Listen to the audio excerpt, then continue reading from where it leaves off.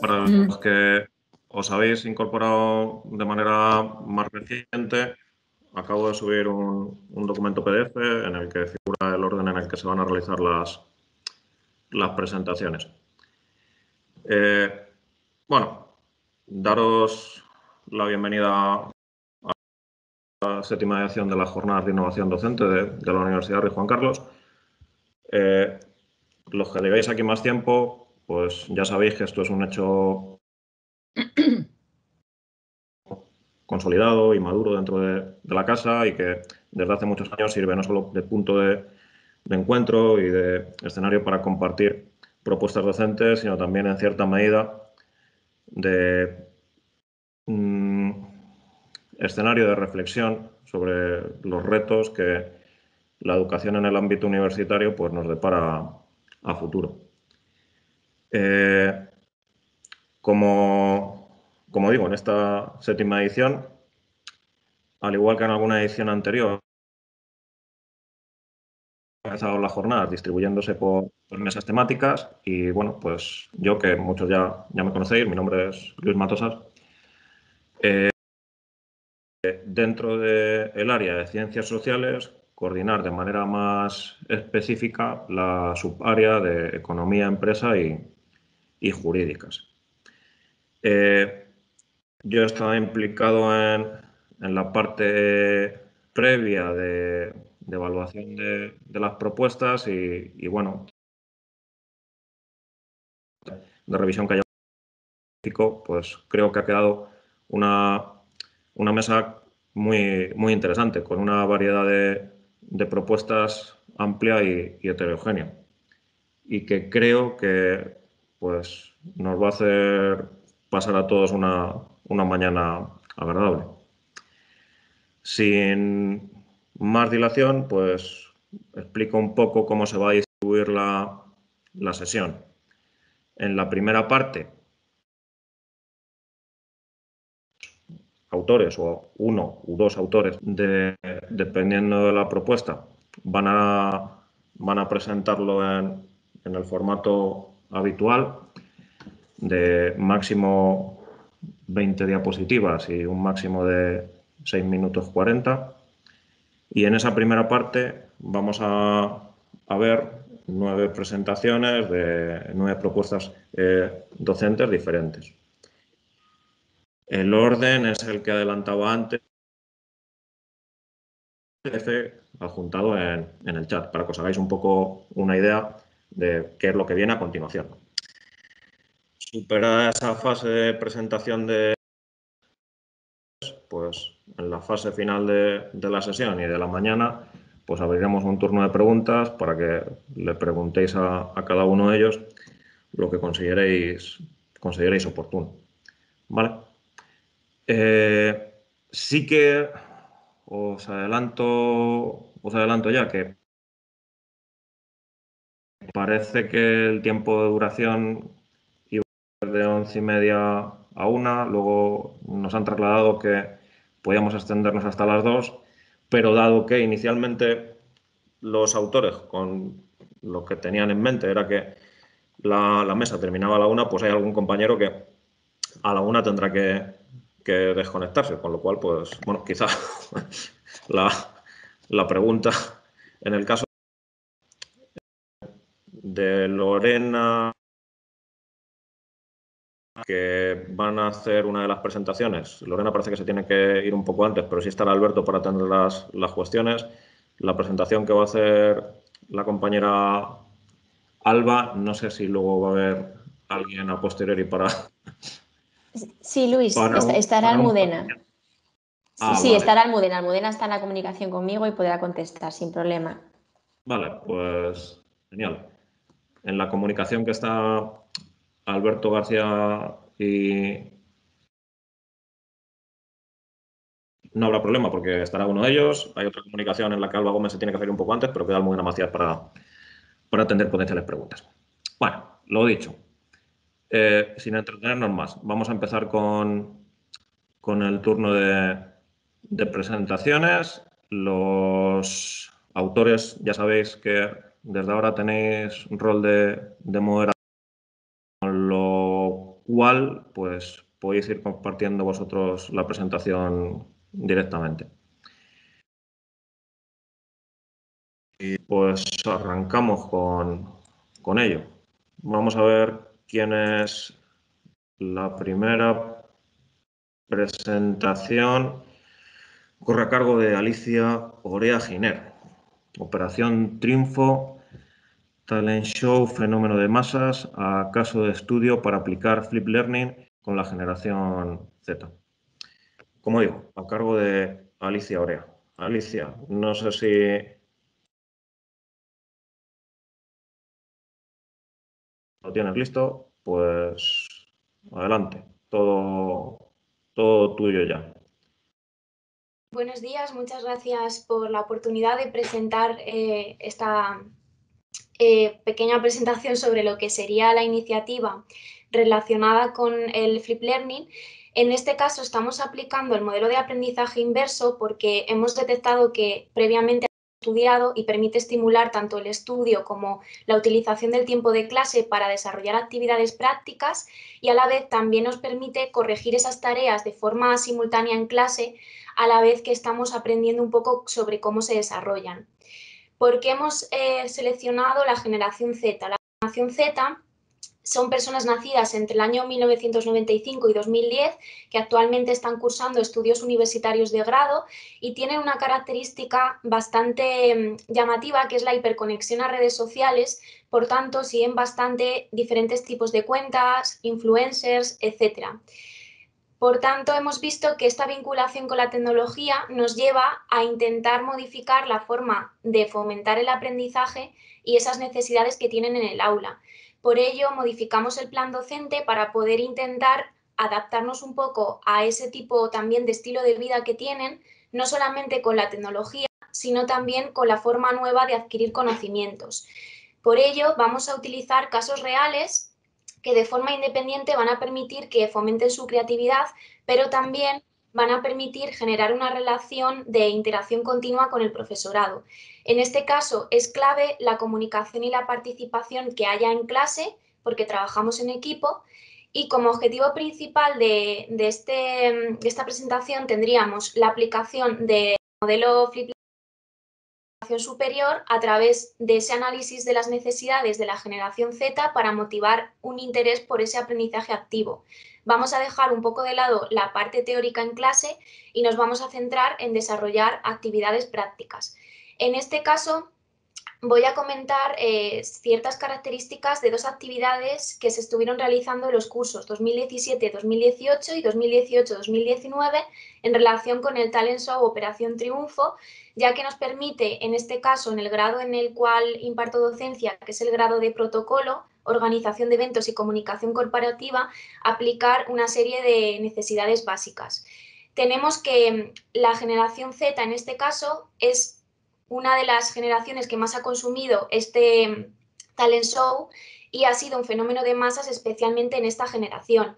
Hay un 50% de jóvenes de 18 a 24 años que han estado viendo este programa y sobre todo lo más importante, consumiendo ese contenido también, que en este caso es eh, transmedia. Tenemos dentro del uso de plataformas que hay un 14% que sería el consumidor digital puro, por tanto, detectamos que trabajar este caso de estudio puede ser muy interesante en clase porque nos va a permitir aplicar esta metodología docente de, Flip Learning a través de este caso de estudio. Este proyecto lo que, lo que realiza es una aplicación de un caso práctico que va paso a paso. O sea, por ejemplo, tenemos cuatro entregas y dentro de esas cuatro entregas van realizando pequeñas eh, adaptaciones hasta llegar a una entrega final durante el proyecto que realizan tienen que aplicar la teoría y estudiar la teoría en casa. Entonces, la forma de comprobar la adquisición de conocimientos la hacemos mediante Kahoot, tema a tema. Una vez hemos eh, aplicado el Kahoot, podemos pasar al siguiente tema. Todos esos contenidos al final nos muestran que el hecho de que, bueno, este sería la primera captura de la primera vez que utilizamos Kahoot en donde tendríamos un 60% de respuestas correctas y lo que nos muestra es que poco a poco van adaptándose a este tipo de metodología docente y los resultados van a ir mejorando progresivamente. En la primera parte os he comentado que era 60, en el tema 5, por ejemplo, tendríamos 75% correcto. Esto sería en el primer curso de aplicación. En el segundo curso de aplicación vemos que los resultados son todavía más positivos, ya no solamente en el Kahoot, habiendo cambiado preguntas, habiendo modificado temario, sino también en lo que correspondería a las notas del propio, eh, de la propia asignatura y del propio proyecto también. Por tanto, se considera que la parte teórica que estamos eh, realizando de forma independiente por parte de las alumnas y alumnos les va a generar también un conocimiento que van a poder aplicar en la parte práctica del proyecto. Además, dentro de la metodología docente, en lugar de trabajar con herramientas eh, más o menos eh, habituales, que puede ser Word o PowerPoint, vamos a utilizar también Photoshop para que puedan realizar diseños, porque sobre todo al tratarse de un grado de eventos, pues necesitamos también aplicarlo al proyecto. También van a usar Slack para organizarse y Trello. Este proyecto global va a tener, como he comentado anteriormente, casos prácticos y durante estos dos cursos hemos aplicado Operación Triunfo, la edición del año 2017, y también hemos aplicado la edición eh, posterior. De este modo, cuando iban realizando los casos prácticos, me iban realizando una presentación pechacucha y de esta manera podíamos presentar también un feedback a ese proyecto. El resto de compañeras y compañeros en clase también hacían preguntas, aportaban información en base a sus trabajos y esas pequeñas entregas las podían modificar en la siguiente entrega para poder ir mejorando cada vez más el trabajo. A modo de conclusión, me gustaría destacar que sobre todo lo más importante es que he detectado un aumento bastante claro de las calificaciones en comparación con un curso de, el curso que, empecé eh, con esta asignatura, donde no aplicaba este tipo de metodología, y también al ver que ese rendimiento académico estaba mejorando, estaba viendo que también mejoraba la motivación para este tipo de, asignaturas y de clases que son muy prácticas, pero que al final no podemos desarrollar la práctica a modo real porque no tenemos los recursos, también es bastante interesante poder aplicarlo como si estuviéramos realmente trabajando en un equipo real. En, en la última parte de la conclusión me gustaría destacar sobre todo pues, que es en realidad una ilusión del iceberg porque lo que está viendo la gente es el éxito, la calificación, pero en realidad las alumnas y alumnos están viendo y aprendiendo una serie de skills que les van a ayudar en el futuro. Y esto sería todo. Muchas gracias por haber atendido la presentación.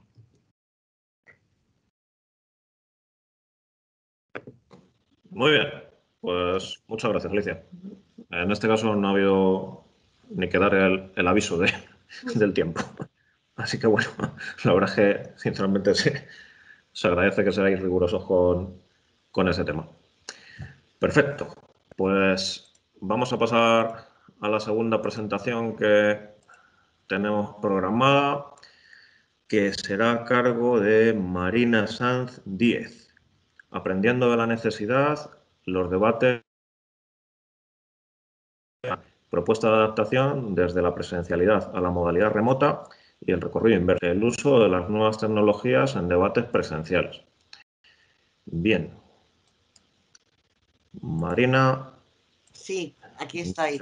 Comparto pantalla, ¿de acuerdo? Pues nada, bienvenida. Yo ya cierro micrófono y, y todo tuyo. Adelante, gracias. Bueno, pues en primer lugar, muchísimas gracias por haber aceptado la presentación.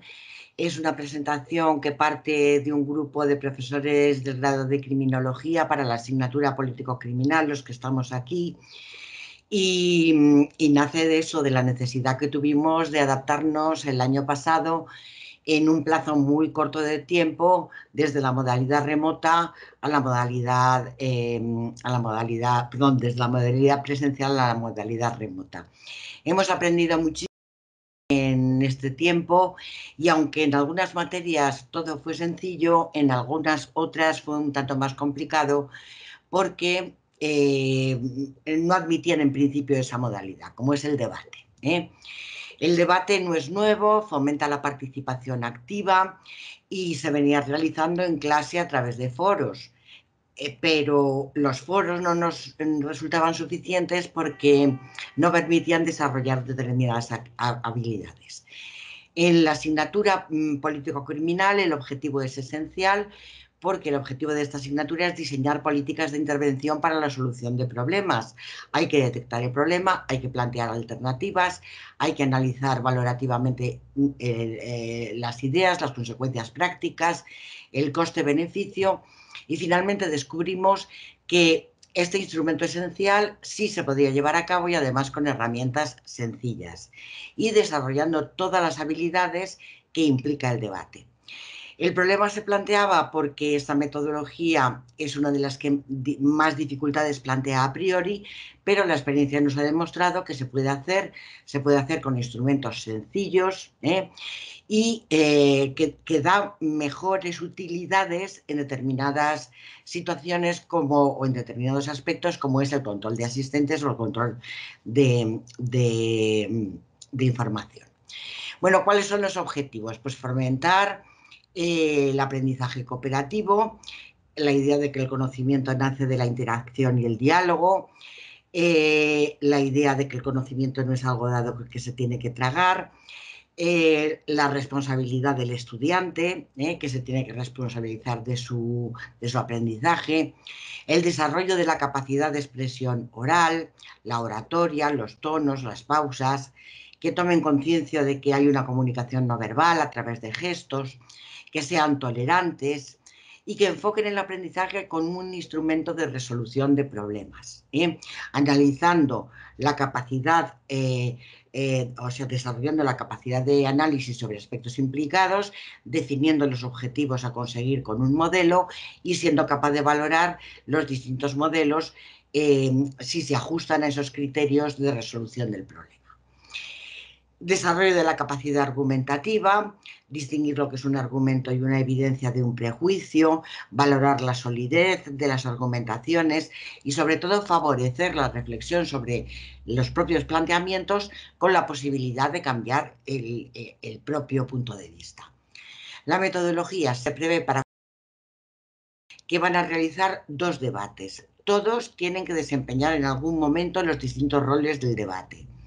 Para el primer grupo se crean, para el primer debate se crean tres grupos, A, B y C, que actúan como ponentes y como público. Y luego esto se invierte. Em, para el primer debate se crean grupos en el aula virtual, el profesor proporciona lecturas básicas, asigna de forma aleatoria la posición a defender y en la fase de previa al debate hay que hacer una labor individual de búsqueda y de comunicación.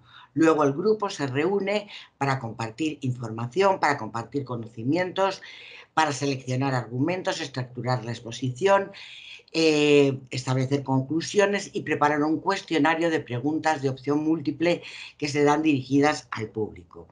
Elaborada la exposición, se reúnen con el profesor para perfilar de detalles. En el debate ¿eh?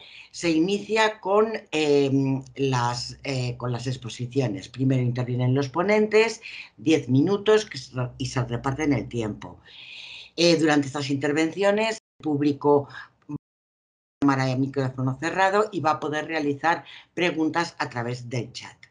Después se abre un turno de, de intervención en el que el profesor va dando la palabra a, los, a, intervinientes, al, público.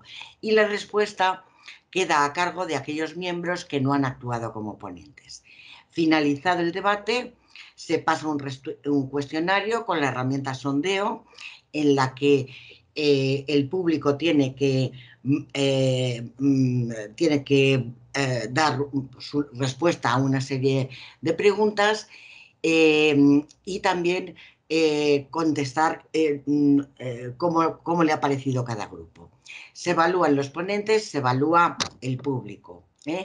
La evaluación de los ponentes se realiza con el profesor, que valora determinados ítems, y cada uno de los ponentes también valora a sus compañeros en determinados aspectos, aportación de información, disponibilidad, motivación, habilidad para coordinar, etc. ¿Cómo se evalúa al público? Se realiza por el profesor tomando en cuenta la calificación obtenida en el sondeo, seis puntos, y las intervenciones que han sido realizadas durante, durante la exposición, ¿eh? tanto en cantidad como en la calidad. ¿Cuáles son los resultados esperados? La motivación para trabajar en, equipo, aprender de forma cooperativa, responsabilizándose de su aprendizaje y del de sus compañeros, búsqueda de información, desarrollo de la capacidad de, de argumentación, desarrollo de la capacidad crítica, tolerancia y respeto y fomentar el interés por lo que les dicen los compañeros.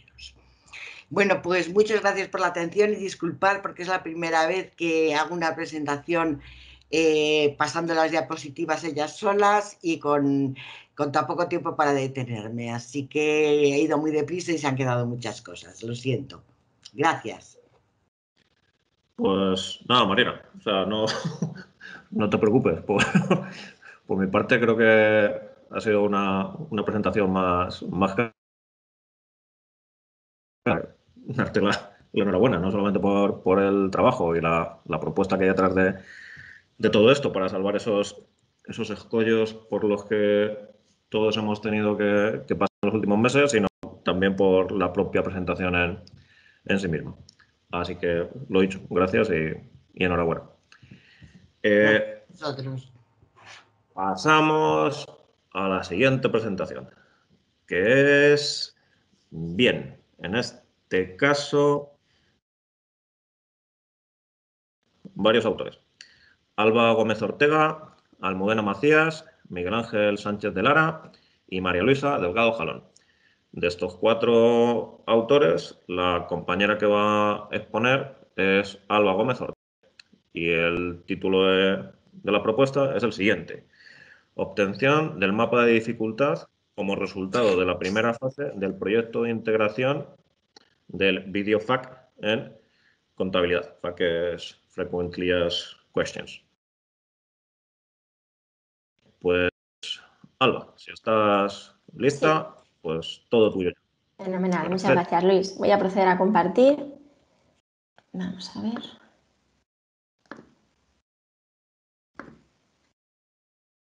Entiendo que ya se ve la, la, pantalla, ¿verdad? Sí. Fenomenal. Bien, bueno, pues en primer lugar, eh, agradecer que nos hayáis dado la oportunidad de compartir con, bueno, pues con el resto de ponentes y de, y de, invitados nuestra comunicación. Y bueno, la idea es transmitir los primeros resultados, esa obtención del mapa de dificultad que hemos conseguido de la primera fase que ya realizamos en el curso pasado de esta herramienta de, de VideoFac. En contabilidad bueno, hemos detectado en, nuestra experiencia en estas asignaturas pues, eh, diferentes problemas. El principal es la falta de tiempo. Tenemos asignaturas con muchísimo contenido que, bueno, pues en algunos casos es difícil de, impartir de manera completa dadas las horas lectivas de las que disponemos. Unido a pues una serie de dudas o, eh, preguntas frecuentes que nos solemos encontrar en las tutorías. Esto nos ha animado a ofrecer esta herramienta de VideosFact como posible eh, solución. La asignatura en la que lo vamos a implantar o estamos desarrollando el proyecto en un primer momento es en Contabilidad Financiera 2, que es una asignatura pues, que se compone, como podéis ver en la guía docente, pues, eh, básicamente de cinco temas. El espíritu, obviamente, de tratar después de implantarlo en otras asignaturas de este área, inclusive en otras diferentes. Las etapas del proyecto eh, aparecen en esta diapositiva. Ya realizamos la primera fase en el curso anterior, donde recabamos la información vamos a nutrir eh, pues la fase en la que nos encontramos actualmente, que es la fase en la que abordamos el problema. Analizando los resultados que obtuvimos en esa primera fase, estamos en este caso elaborando los, los vídeos FAQ que vamos a, a utilizar. En esa primera fase, los cuestionarios que trasladamos a los alumnos para cada uno de los temas se componían de estos tres bloques. Una primera parte de preguntas de autoevaluación que les permitía un poco el seguimiento de la asignatura, una segunda parte para valorar en escala de Likert el grado de dificultad de algunas cuestiones y una última parte con preguntas abiertas donde ellos podían manifestar lo que consideraran oportuno. Ahora mismo nos encontramos en esta fase, hemos analizado ese feedback que obtuvimos y estamos eh, bueno, pues en la, parte de tratamiento de datos hemos codificado las respuestas que conseguimos en, esos cuestionarios para obtener una serie de balizas que permitan un poco pues, inducir dónde están las áreas de mayor dificultad, ¿no? para poder enfocar la elaboración de los vídeos precisamente en torno a esas balizas. Para ello, pues realizamos una serie de codificaciones eh, a partir del programa que utilizamos, que en este caso fue Socrative, para realizar los cuestionarios, de tal manera que eh, conseguíamos pues, datos numéricos a partir de esas encuestas o esos cuestionarios y podíamos hacer un tratamiento en primer momento descriptivo, pero probablemente pues, eh, más adelante hagamos algún tipo de tratamiento más estadístico. Aquí queríamos poner un ejemplo de los diferentes resultados, de las diferentes formas en las que hemos evaluado esas respuestas que hemos conseguido. Por ejemplo, pues en el tema 2 teníamos una gráfica en la que identificamos el porcentaje de respuestas correctas o incorrectas en cada una de las preguntas para ver pues dónde pueden fallar más los estudiantes o dónde, o dónde fallan menos, ¿no? Dónde está la respuesta más comúnmente eh, registrada. Por ejemplo, otra, otra forma en la que hemos eh, eh, conseguido esas balizas es a través de estos gráficos de, valoración de dificultad, donde claramente en esa escala de Likert se pueden identificar las cuestiones en cada tema que generan o sugieren mayor dificultad para los alumnos a la hora de, de abordar estos, estos temas. En, relación a la pregunta última, al bloque donde se dejaba eh, una cajita abierta para que manifestaran sus preocupaciones o cuestiones adicionales, pues hicimos una especie de trabajo de buscar el común denominador, ¿no? Para tipificar cada una de esas respuestas de tal manera que conseguíamos para cada tema volver a ilustrar cuáles eran los bloques que mayor dificultad pues, les, les, les generaba. De esta manera, para cada uno de los temas conseguimos lo que hemos denominado como mapa de dificultad de la asignatura a través de una especie como de semaforitos donde, bueno, pues en función de unos criterios que hemos aplicado, en función de los porcentajes de respuestas que hemos conseguido correctas o incorrectas, ¿no? De mayor porcentaje de respuestas conseguidas en cada una de las preguntas, pues podíamos obtener, digamos, este mapa más visual de tal manera que identificáramos pues aquellas preguntas con mayor problemática para los alumnos, aquellas preguntas que pudieran ser susceptibles de analizar ¿no? por cierta mm, trascendencia para los alumnos o preguntas que en principio pues por sí solas ya se, ya se solventaban ¿no? para ellos. Ahora mismo nos encontramos eh, en, plena fase de elaboración de los vídeos, ¿no? A partir de esas balizas que hemos identificado y que ahora pondré algún ejemplo, bueno, pues estamos elaborando vídeos enfocados exclusivamente a esas cuestiones que ellos han planteado o, haciendo ejercicios prácticos en estos vídeos para tratar de ejemplificar o de facilitar una mayor comprensión y completar las enseñanzas que hacemos en las horas lectivas. Básicamente, en los cinco temas que, componen la asignatura donde lo estamos implantando, estas son las cuestiones clave o, las balizas que hemos obtenido. En primer lugar, pues en el tema 1, eh, la parte más compleja para los alumnos es toda la parte de valoración de deterioro, el recálculo de la amortización tras este deterioro. Cuestiones, por ejemplo, como los proyectos de I D, ¿no? ¿Qué ocurre esto, eh, con estos proyectos en el balance una vez han finalizado? El objetivo al final perseguido con este proyecto es tratar de conseguir un aprendizaje que sea innovador, que sea resolutorio, que sea dinámico también, interesante para los alumnos, hacerles partícipes en la creación de su propio material y bueno, pues aprovechando también este material para el curso semipresencial que nos está aconteciendo, pues poder completar la docencia que estamos dando con estos vídeos. Al final, en la última fase, realizaremos un análisis de resultados donde contrastaremos con un grupo de control donde no vamos a realizar o a, utilizar esta herramienta de vídeos FAC, pues si, de alguna manera se genera mayor motivación o si los resultados pues consiguen, se consiguen mejor para los alumnos esos resultados son, son, mejores a partir de ese material que complementamos con los vídeos. Como hipótesis fundamental a contrastar en este proyecto de manera global es pues, si esta utilización de esta herramienta o de los vídeos FAC que hemos denominado les, les lleva a una mejora de conocimiento y una mayor retención que en un grupo pues, que consideramos de control, un grupo en el que no hayamos implantado esta, esta herramienta. El objetivo final siempre, imagino para todos los compañeros que están hoy aquí también, pues la mejora la calidad en nuestras enseñanzas, nunca parar de, aprender, ¿no? no solamente eh, enfocado a los estudiantes, sino nosotros mismos como profesores, seguir mejorando nuestra enseñanza, la calidad de nuestros materiales y tratar de darle siempre una vuelta a la forma que enfocamos nuestras, nuestras clases lectivas, ¿no? para tratar de ser cada vez un poco más, más innovadores. Por supuesto, nuestro trabajo no está libre de limitaciones, por lo menos en la fase en la que nos encontramos, puesto que tenemos pendiente la validación de esos resultados, ¿no? precisamente cuando ya los alumnos hayan utilizado ese material y podamos preguntarles ¿no? si ha sido útil o no lo ha sido y ver un poco el feedback que nos dan, pues podremos valorar si se puede poner en práctica en, otras asignaturas también. Muchísimas gracias por vuestra atención y bueno, espero que haya sido de su interés. Muchísimas gracias. Pues nada, a ti, Alba. Y bueno, pues animaros de cara al futuro con esto y bueno, quién sabe si el año que viene o dentro de un par de, ediciones podéis compartir ya con, el resto de profesores de, la universidad los resultados definitivos, después de checarlo con grupos de control y, demás. Muchas gracias. enhorabuena. Eh, siguiente presentación. Vale. En cuarto lugar, eh, tenemos a un compañero que ya es un clásico en, las jornadas de, innovación docente. En este caso es una, presentación que, en la que él eh, comparte el trabajo con otros colegas de, de otras dos universidades. Dejadme un segundo para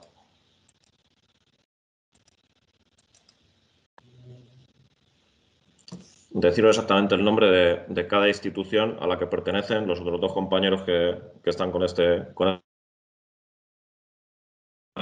Eh, el compañero es Juan Carlos Aguado Franco y es un trabajo que ha desarrollado con otros dos compañeros de otras dos universidades, Armando Gil Ospina, de la Universidad Católica de, de Pereira, y José Fren Cornejo Garza, de la Universidad de Monterrey. y el nombre de la propuesta es el siguiente. Utilización de la clase espejo y el trabajo cooperativo interuniversitario como instrumento de mejora e internacionalización de la docencia. Pues dicho esto, Juan Carlos, ya... Todo tuyo. Muchas gracias, Luis. Eh, paso a compartir el contenido.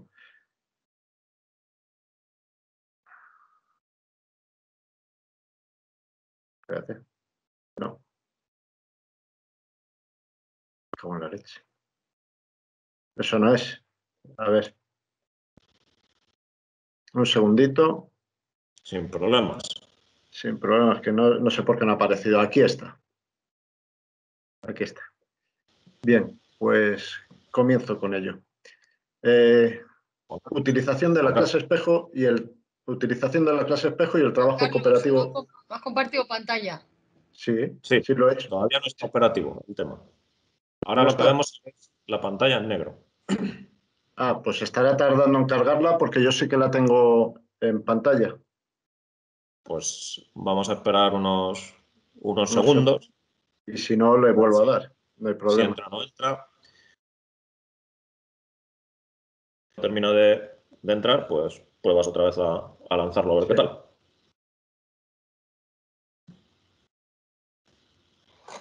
No sale, yo sí que la tengo. Eh. De momento no. Vale, pues voy a.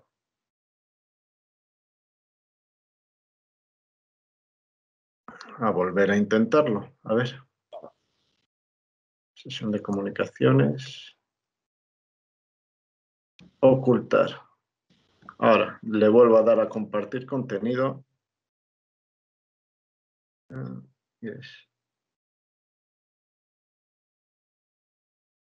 presentando, pone que sí que está presentando. Nada.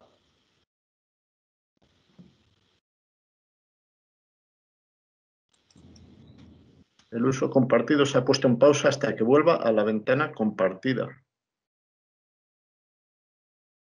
Me sale ahí un mensaje extraño. Ocultar. Juan Carlos. Dime. Igual podrías compartir escritorio. No sé si estás compartiendo escritorio o compartiendo eh, lo que es el documento.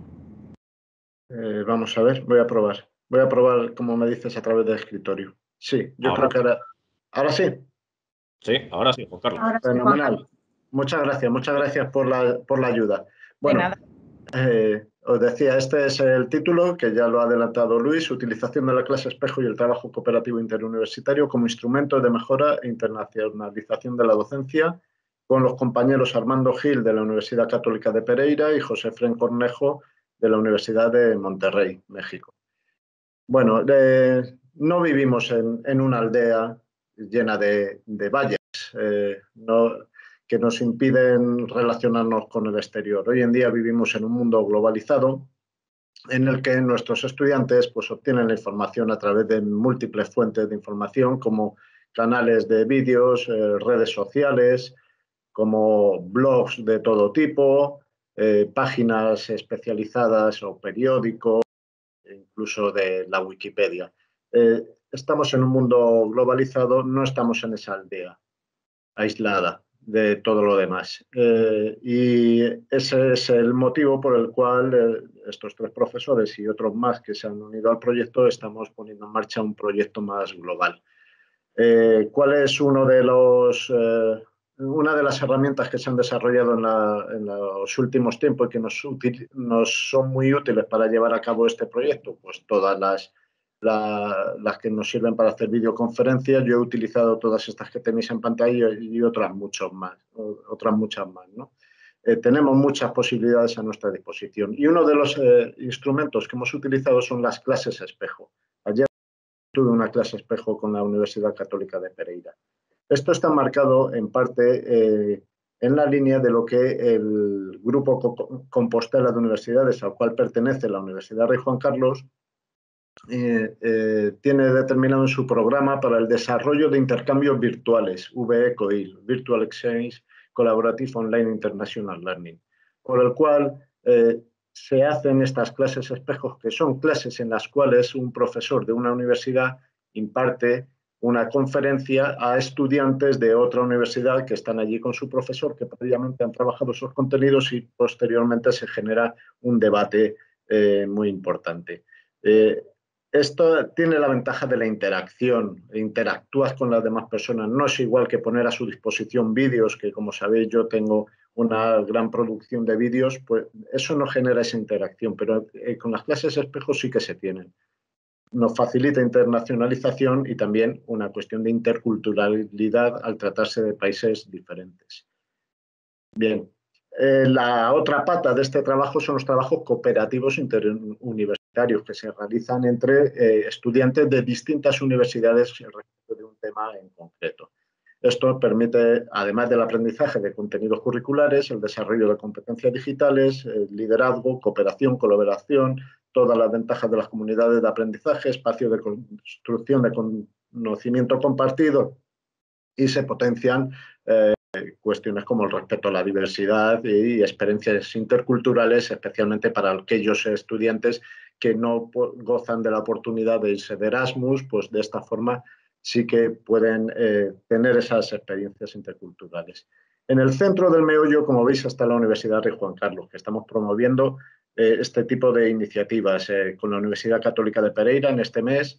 He desarrollado ya, además de clase espejo como los años anteriores, pues he impartido un webinar, etcétera. ¿no? Son relaciones que tienen una continuidad a lo largo del tiempo. La Universidad de Lima también en los dos o tres últimos eh, meses, pues aparte de impartir las conferencias, utilizan mi MOOC y he involucrado además a estudiantes de la Universidad de Juan Carlos para crear vídeos que eh, sirvan para explicar la metodología a utilizar con los estudiantes de la Universidad de Lima y para los profesores de allí, para cuestiones de aplicar un modelo de flip learning internacional utilizando los contenidos creados por la Universidad de Juan Carlos, en este caso por eh, con la Universidad Autónoma de Chihuahua, pues eh, hemos impartido un, un taller de capacitación docente durante más de un mes, hemos llevado a cabo clases espejo, utilizan nuestros MOOC igualmente y con la Universidad de Monterrey, pues eh, tenemos la cuestión de, estos trabajos interuniversitarios que ellos ya han llevado a cabo con la Universidad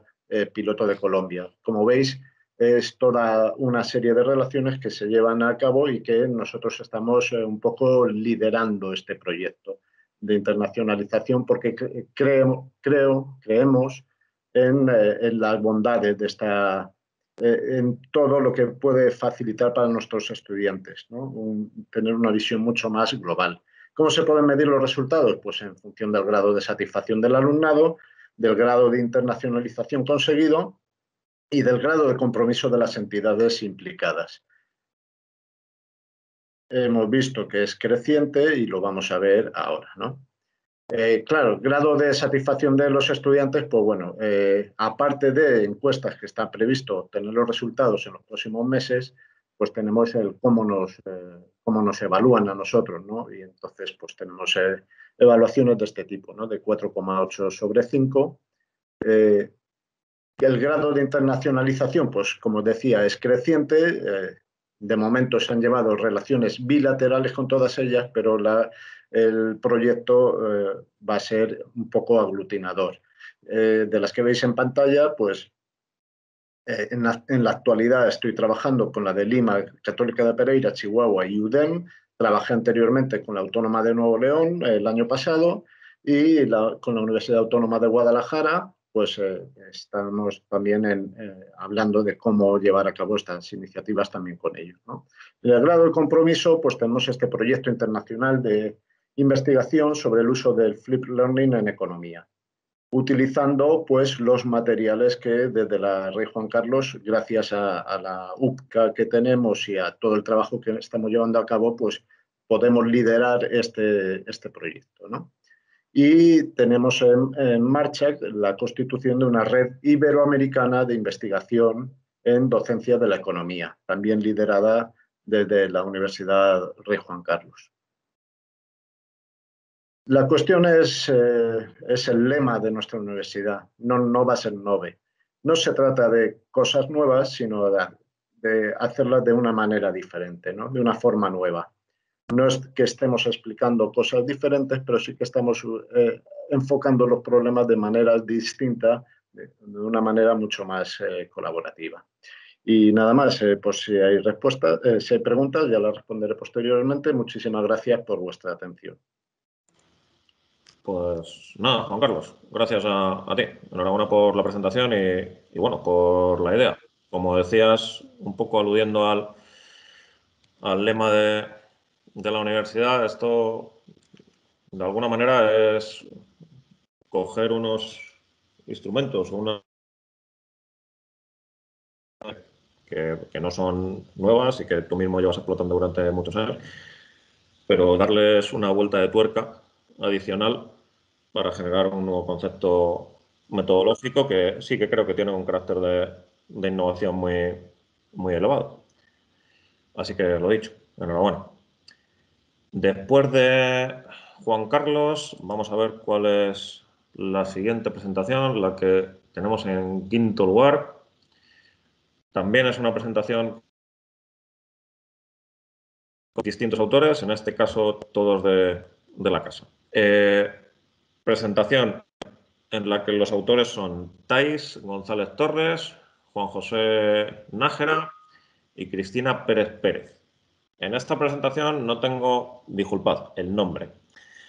La presentación o la propuesta lleva por nombre Juego de Empresas, un proyecto en, curso. En este caso no tengo muy claro si va a ser Tais González o va a ser Cristina Pérez la, la que va a poner. Voy a ser yo, Luis. Eh, ah, pues, encantado, Cristina. Ah, perdona, Thais. No, Thais. ¿Qué Thais? Sí, eh, bueno, eh, voy a compartir mi presentación, entonces. Todo tuyo. Perfecto. Bueno, pues buenos días a todos. yo me llamo Thais González y voy a presentar pues, esta iniciativa o este, bueno, este trabajo que se titula Juego de Empresas, un proyecto en curso, bueno, que lo hemos, lo hemos desarrollado junto con mis compañeros de asignatura, Juanjo Nájera y Cristina Pérez.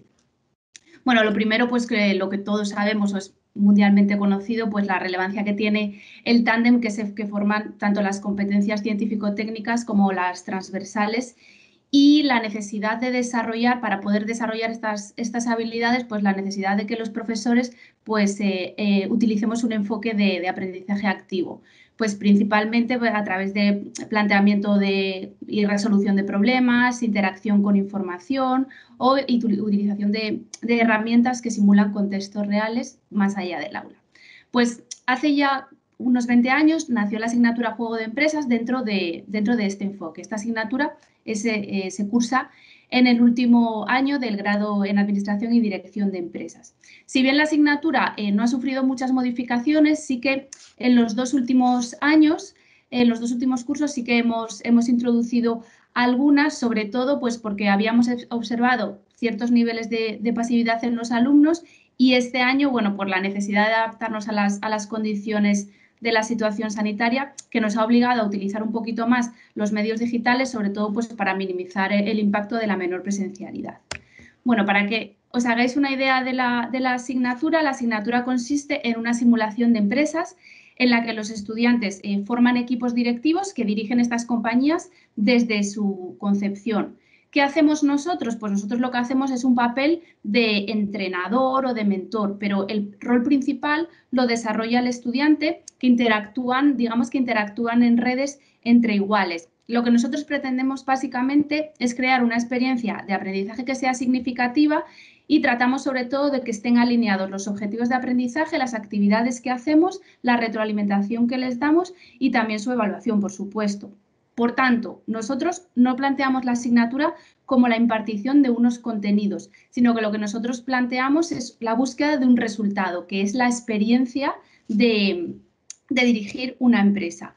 Por tanto, nuestra asignatura lo que queremos que sea y lo que tratamos eh, de que sea es de un laboratorio en la que los alumnos pongan en práctica todos los conocimientos que han ido desarrollando durante, durante los años del grado. Pero también lo que queremos es que sea un espacio en el que se puedan desarrollar eh, capacidades transversales como la negociación, el liderazgo, gestión del tiempo, eh, análisis de la información, creatividad, etcétera. Entonces, bueno, la asignatura digamos que, que se divide en tres fases. Por un lado, el estudio de las normas de la simulación, los límites y las reglas del juego, que creemos que es muy importante porque si no el desarrollo posterior es muy pobre. Hay un segundo paso en el que tienen que crear un plan estratégico inicial y poner en marcha la empresa y luego ya la tercera etapa, que es la dirección en sí de la empresa durante un periodo ficticio de dos años, en ocho tomas de, decisión. Bueno, ¿cuáles han sido los cambios? Como, os comentaba, pues habíamos detectado que, había ciertos niveles de, pasividad en algunas etapas y además, bueno, pues la necesidad de, suplir, intentar suplir esta, esta menor eh, presencialidad. Por tanto, nosotros hemos eh, realizado un par de cambios, sobre todo en la primera y en la segunda fase.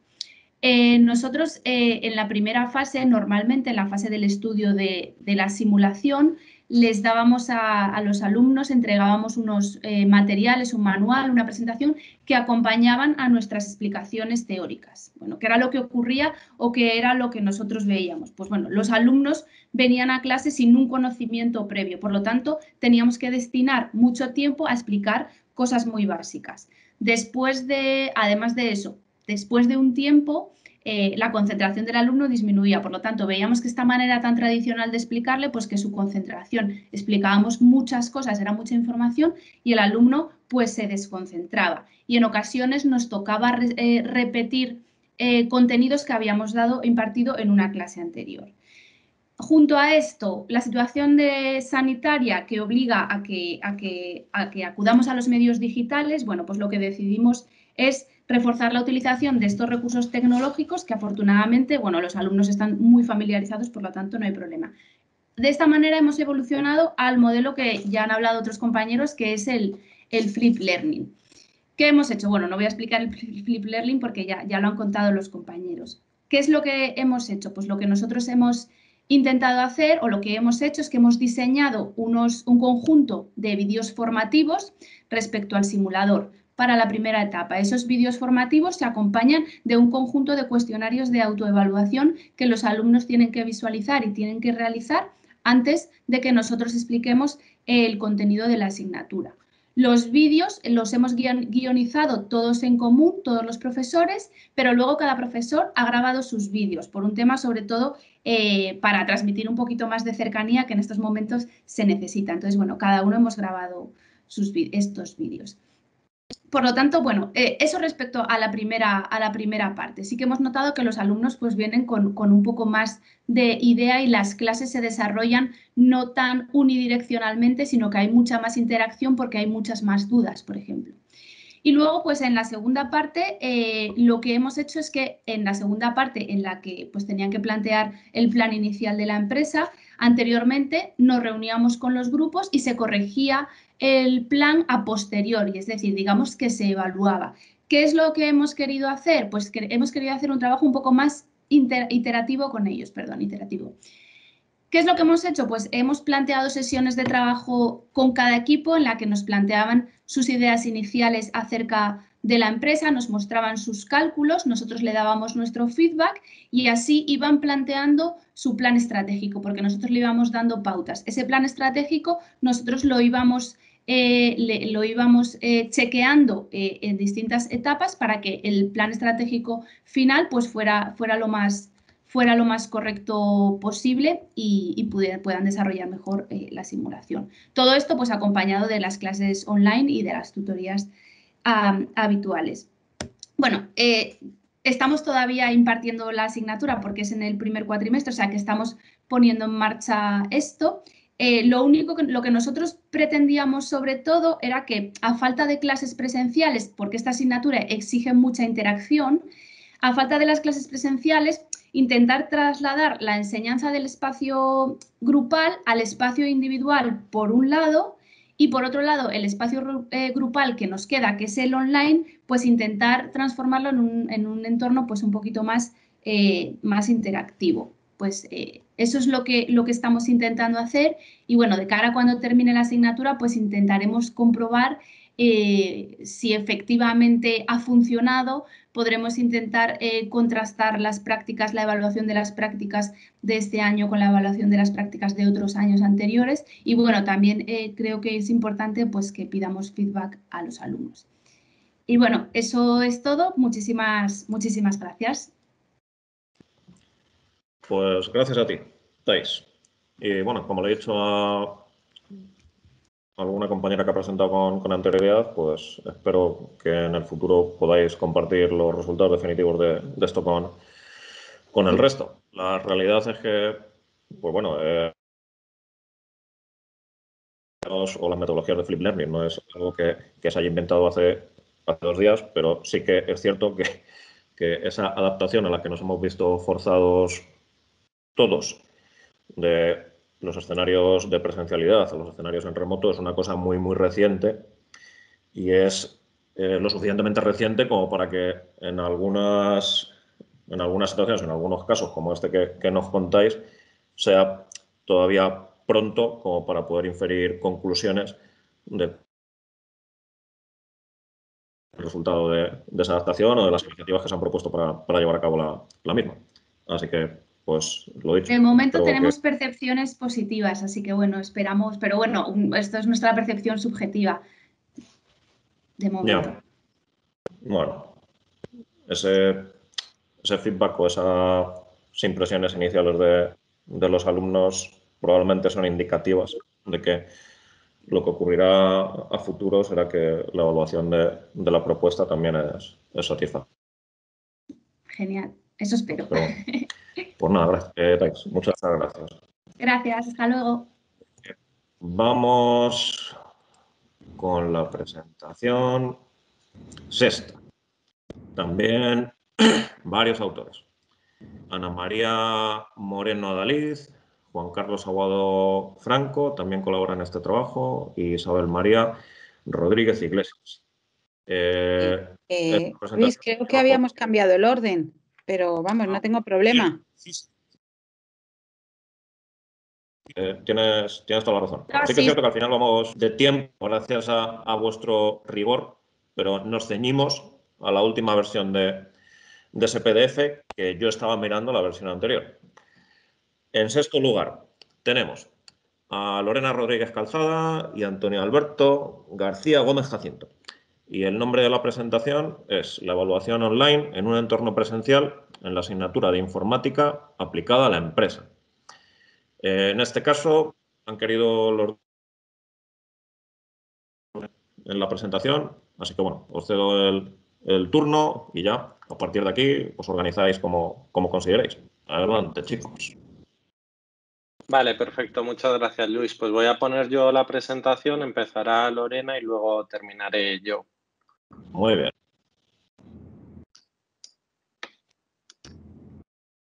Vale, ¿se, ve correctamente? Sí. Sí, se ve. Pues empezamos. Bueno, buenos días. Mi nombre es Lorena Rodríguez y junto con mi compañero Alberto García hemos elaborado una propuesta para estas jornadas de innovación docente relacionadas con la evaluación online, dada pues, la situación de pandemia en la que vivimos el año pasado. Por ello, de, no se está poniendo bien la presentación. Vale, es que a lo mejor tarda un poco. Debería avanzar. Está puesto automático. Vale, Vale, por ello nos preguntamos que si cambia la forma de enseñar y de aprender, ¿por qué no también cambiar la forma de, evaluar? El mundo, el mundo está evolucionando y con él también vemos que cambia el aula. Antes nos encontrábamos con un aula tradicional, con un aula presencial, ahora en cambio podemos ver el aula de una forma virtual a través del ordenador o a través del dispositivo móvil sin limitaciones físicas y sin limitaciones temporales. También las formas de interiorizar conceptos han cambiado. Ahora utilizamos la realidad aumentada o la realidad virtual en campos como... es que está yendo muy, mal. En campos como la medicina o la arquitectura o simplemente hacemos uso de los ebooks en, en sustitución a los libros de papel que todos conocemos. Es por ello que creemos que debemos adaptarnos. Para ello proponemos eh, utilizar una metodología B-Learning eh, que compagina la educación online con la educación presencial. Y para ello proponemos utilizar programas o aplicaciones como BookLab, Kahoot, Genially o Microsoft Teams, que ha sido una de las utilizadas por nosotros en este proyecto y que explicaremos más adelante. Pues bien, para nuestra propuesta, como hemos dicho al principio, es una evaluación online 100% y se ha realizado en la asignatura de informática aplicada eh, de la cual ambos somos profesores en diferentes grados. Nuestra muestra ha sido de 280 alumnos y la modalidad en sus inicios era 100% presencial.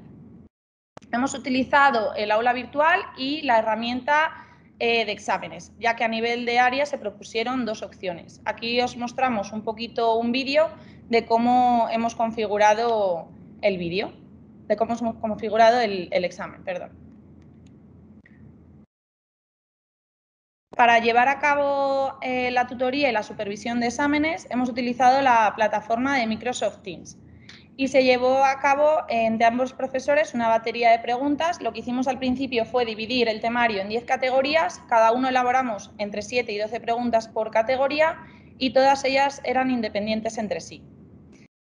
Cada a cabo dos pruebas. Por un lado, la prueba asíncrona, que nosotros hemos denominado simulacro, tuvieron los alumnos una semana para realizar todos los, todos los intentos que quisieran y se cogió como nota final la nota máxima de todos los intentos.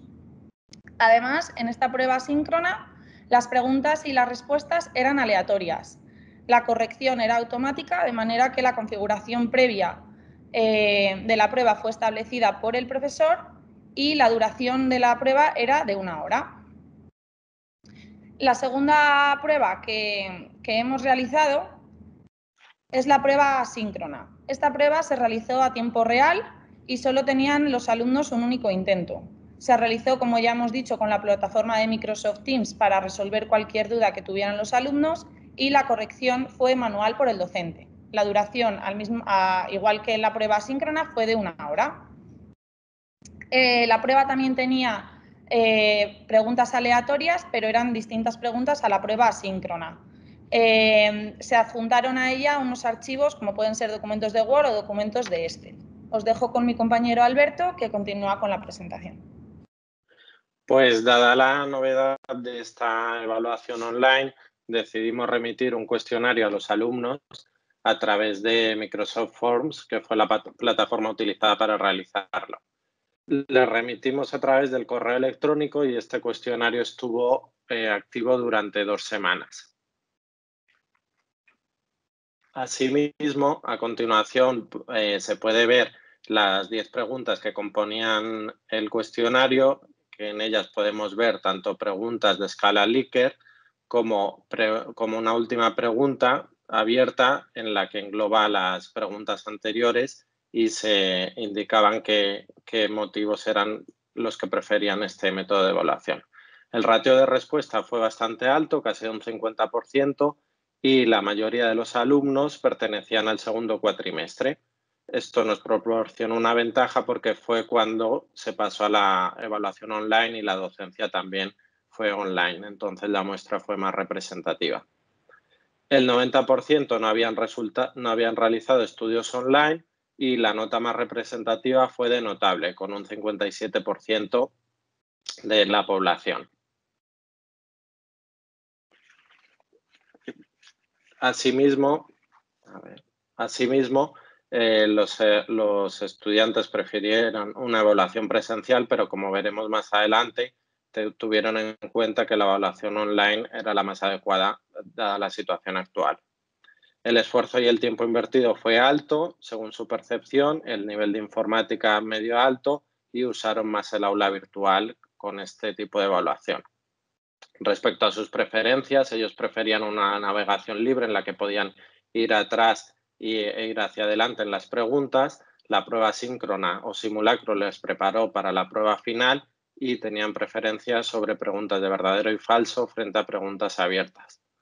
Como evidencia empírica, hemos, hemos analizado que los alumnos se adaptan a la docencia de la evaluación en remoto, que emplean tiempo en la asignatura y que se involucran en la asignatura. Asimismo, a continuación veremos las conclusiones en las que las conclusiones que hemos trazado tras este estudio, en las que la evaluación presencial requiere menos trabajo autónomo, pero requiere una mayor concentración y la evaluación online es más adecuada ante la situación actual, es más cómodo, sobre todo por la mayor optimización del tiempo, evitando tiempos muertos como tiempos de traslado al campus. Esperamos que la presentación os haya parecido interesante. Muchas gracias por vuestra atención. Agradecer también a la organización y a que nos hayan aceptado esta, esta presentación, esta propuesta y para cualquier duda pues nos podéis contactar por el correo o después en, las, en la ronda de preguntas. Muchas gracias. Muchas gracias. Pues Alberto y Lorena, gracias a, a vosotros. Eh, bueno, esta es la primera propuesta que trata de el punto de la evaluación en este escenario de adaptación a, la docencia en línea.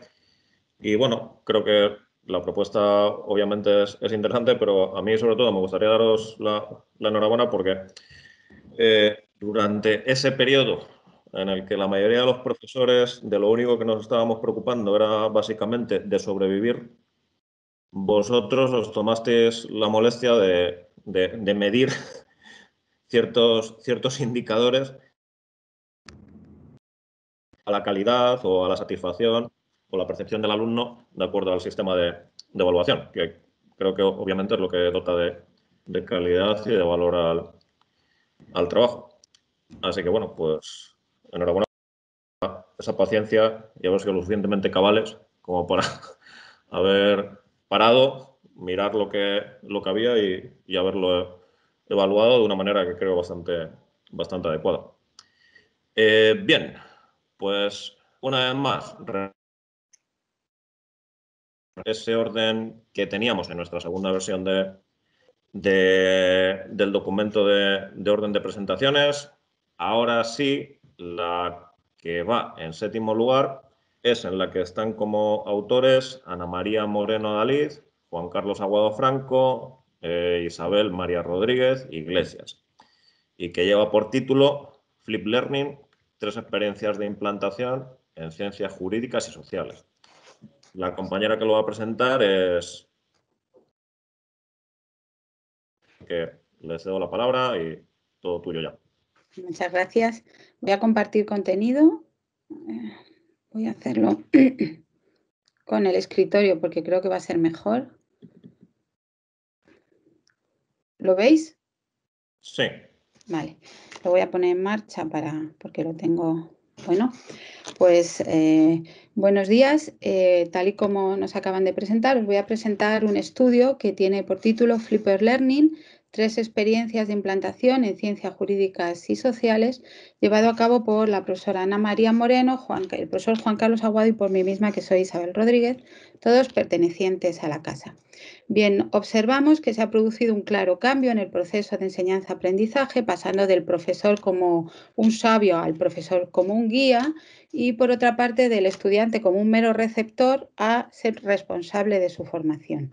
Es decir, estamos en el contexto de un aprendizaje activo donde lo que tratamos es de buscar estudiantes implicados, estudiantes que no estén aburridos, que no estén pasivos, estudiantes que generen nuevas ideas, que creen, que tengan pensamientos abiertos, que sean capaces de hacer autocrítica. Todo esto eh, basándonos en la metodología Flipper Learning, que ya hemos hablado de ella, nosotros buscamos un aprendizaje dinámico en el que tanto el profesor como los estudiantes vayan creando la materia. Pasamos del tradicional profesor, todo centrado en el profesor, al estudiante implicado y creador. ¿En qué asignaturas decidimos hacerlo? Decidimos hacerlo en las asignaturas del grado de economía en microeconomía y en macroeconomía, así como en la asignatura de estudio de los estados financieros del grado en ADE, porque eran, son asignaturas que actualmente aún siguen la metodología tradicional de la clase magistral y, y además tienen una común que tienen una parte teórica que, como decía hace un momento, se sigue impartiendo de forma magistral en la mayoría de los casos y nosotros queremos sacar del aula esa, esa parte teórica y una parte práctica donde aprendemos trabajando, compartiendo, razonando, argumentando, es decir, utilizando todos los materiales que tenemos a nuestro alcance. Eh, materiales en entornos virtuales como eh, blog de nuestro compañero Juan Carlos, canal de YouTube, MOOCs, eh, y la utilización del aula virtual. Evidentemente, todos estos materiales unidos a materiales eh, tradicionales que podemos utilizar también dentro del aula, eh, como pueden ser el papel y el boli, como puede ser la pizarra, porque consideramos que los materiales diversos, cuanto más materiales tengamos para dar los contenidos, más vamos a fomentar ese aprendizaje en economía. Además, Además, como complemento a todos estos materiales, que, repito, son esenciales para el aprendizaje en economía, creemos necesario eh, incorporar el trabajo cooperativo. El trabajo cooperativo en, su versión de trabajo colaborativo, en la parte de fomentar la enseñanza entre iguales, que es defendida claramente por Mazur ya desde el año 93, donde el estudiante es el protagonista. Y además, teniendo en cuenta nuestra pirámide de Cody Blair, que nos dice que pasados 24 horas, un 75% del aprendizaje está en las prácticas y un 95% en enseñar a otros. Por eso, para nosotros es imprescindible aprender y enseñar siguiendo la taxonomía de Bloom, con un enfoque integral del estudio, en el que tras el proceso de aprendizaje el estudiante va a adquirir nuevas competencias y va a adquirir también conocimientos. Eh, en concreto, entonces, nosotros lo hemos implementado un estudio de Flipper Learning en el entorno universitario en los grados de Economía y Administración de Empresa, porque actualmente no se hace en las, asignaturas que hemos dicho, con el objetivo de motivar e implicar al estudiante y de que adquiera eh, nuevas competencias.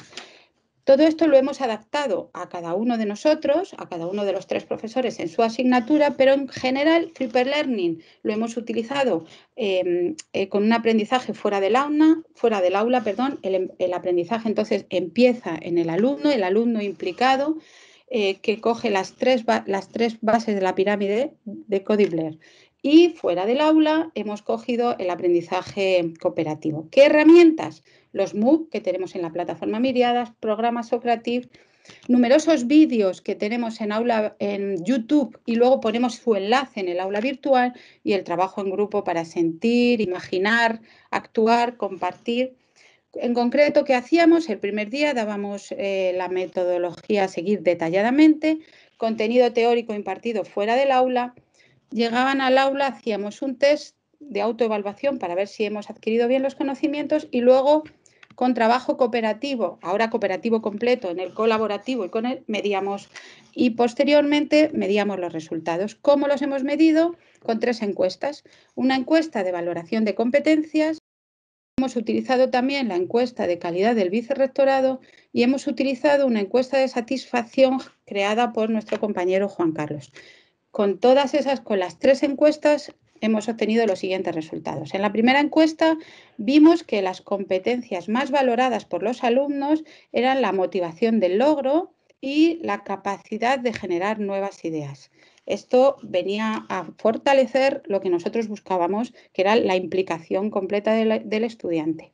Por otra parte, hemos utilizado la encuesta de vicerrectorado y Así, viendo su satisfacción, veíamos si habíamos mejorado los rendimientos. Ponemos un ejemplo de, las calificaciones de, microeconomía que, como vemos en el 2018, cuando ya está implementado, hay muchos más aprobados incluso aparecen sobresalientes. Y por último, medimos la satisfacción con una última encuesta y como vemos, hemos puesto aquí algunas, vemos claramente que los alumnos desean esta metodología en un 94%, les resulta más fácil estudiar con esta metodología en un 91%.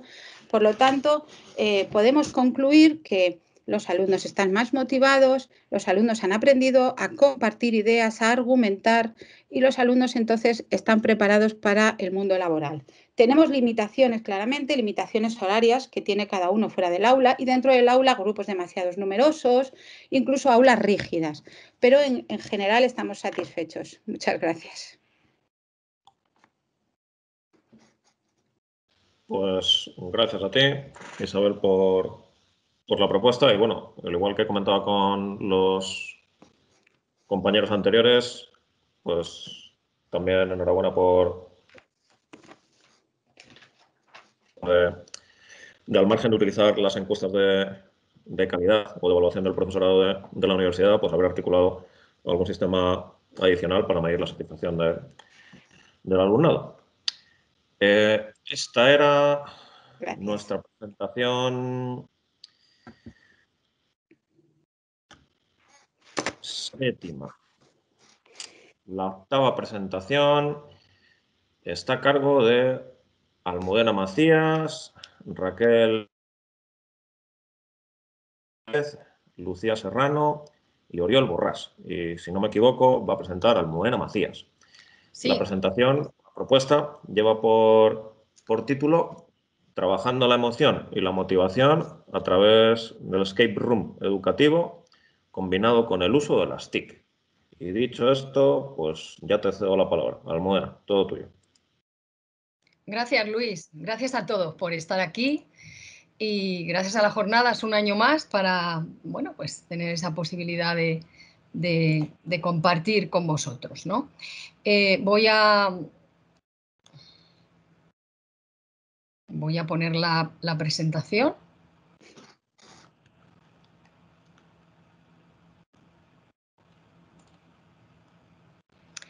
Y al mismo tiempo voy a compartir pantalla. Screen to screen screen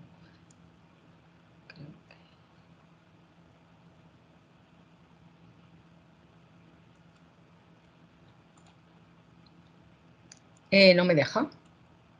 Eh, no me deja. Un segundo, ¿vale? Ahora Ahora, vale.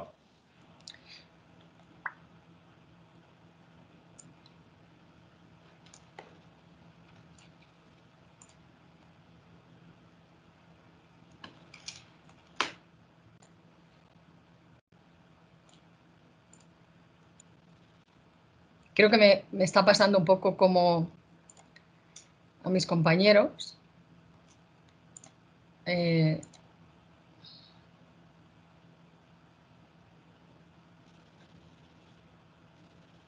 Almudena, intenta seleccionar la presentación. Se estaba viendo en la pantalla, pero lo único que no tenías puesta la presentación ya activa.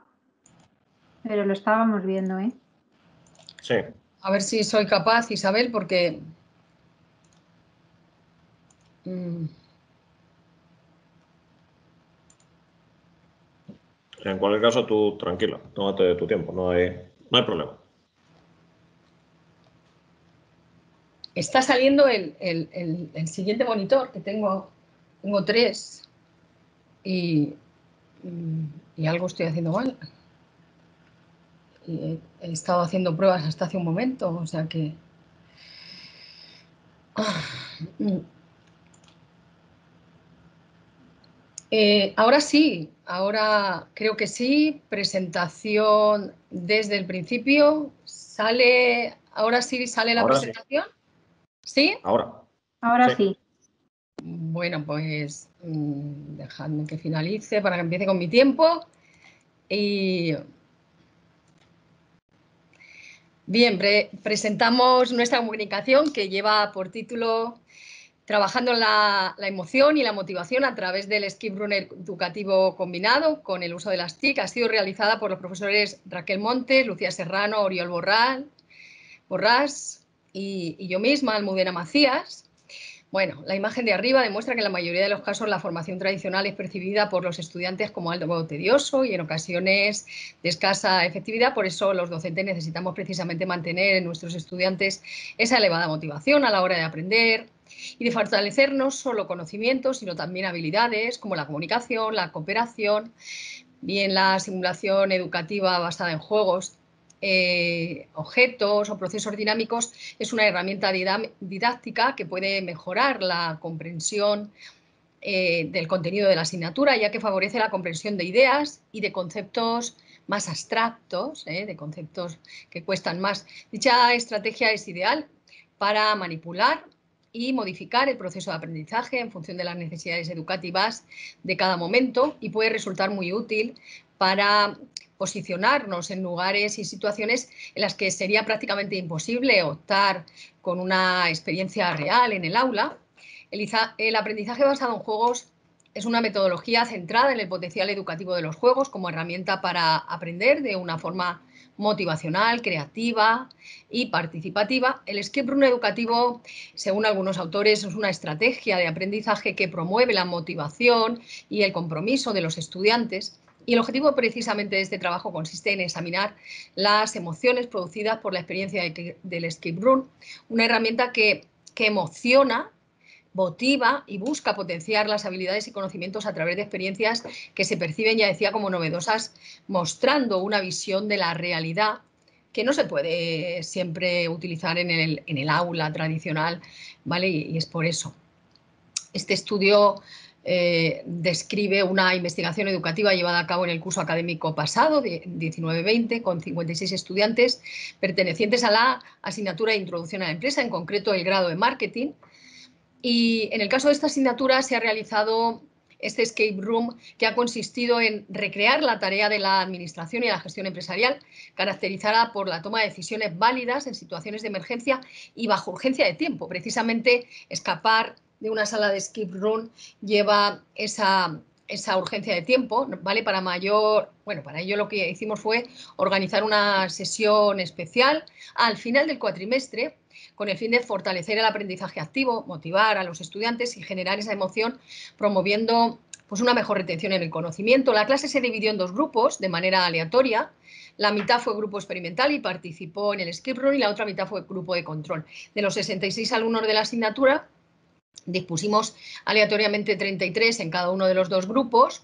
Para el skip decoramos el aula, eh, una aula pequeña que tomamos bajo una narrativa inspirada en la empresa y habilitamos el área para tal efecto. Dispusimos seis puestos digitales, para, uno para cada uno de los equipos de skip y para dar realismo al skip realizamos lo que en gamificación, se llama, se, denomina narrativa. En concreto, nuestros estudiantes escapistas jugaban a intentar conseguir un puesto en la dirección de una multinacional en la que el equipo directivo se jubilaba y ellos, el primero de los que, de los, eh, que escaparan, ¿de acuerdo? Pues eh, llegaba a eso.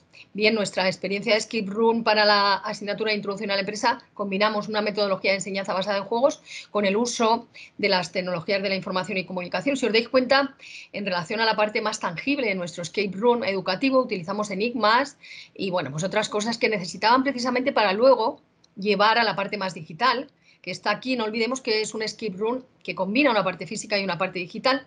Hicimos el uso del aula virtual en la universidad eh, para, eh, concretamente de la asignatura de Introducción a la Empresa, se programó una secuencia de pruebas y enigmas a través de la herramienta Lección. Herramientas digitales tales como candados digitales, vídeos para pistas y enigmas colgados en diferentes repositorios, noticias ficticias virtuales que contenían información escondida. Ahí tenéis a Oriol en uno de los vídeos que daba, que daba lugar a una pista, ¿no? Y bueno, pues mm, fue muy gratificante para ellos, ¿no? En relación a la parte de los enigmas, ahí tenéis la estructura programado en Moodle fueron seis enigmas, en concreto relacionados todos ellos con la temática de la asignatura.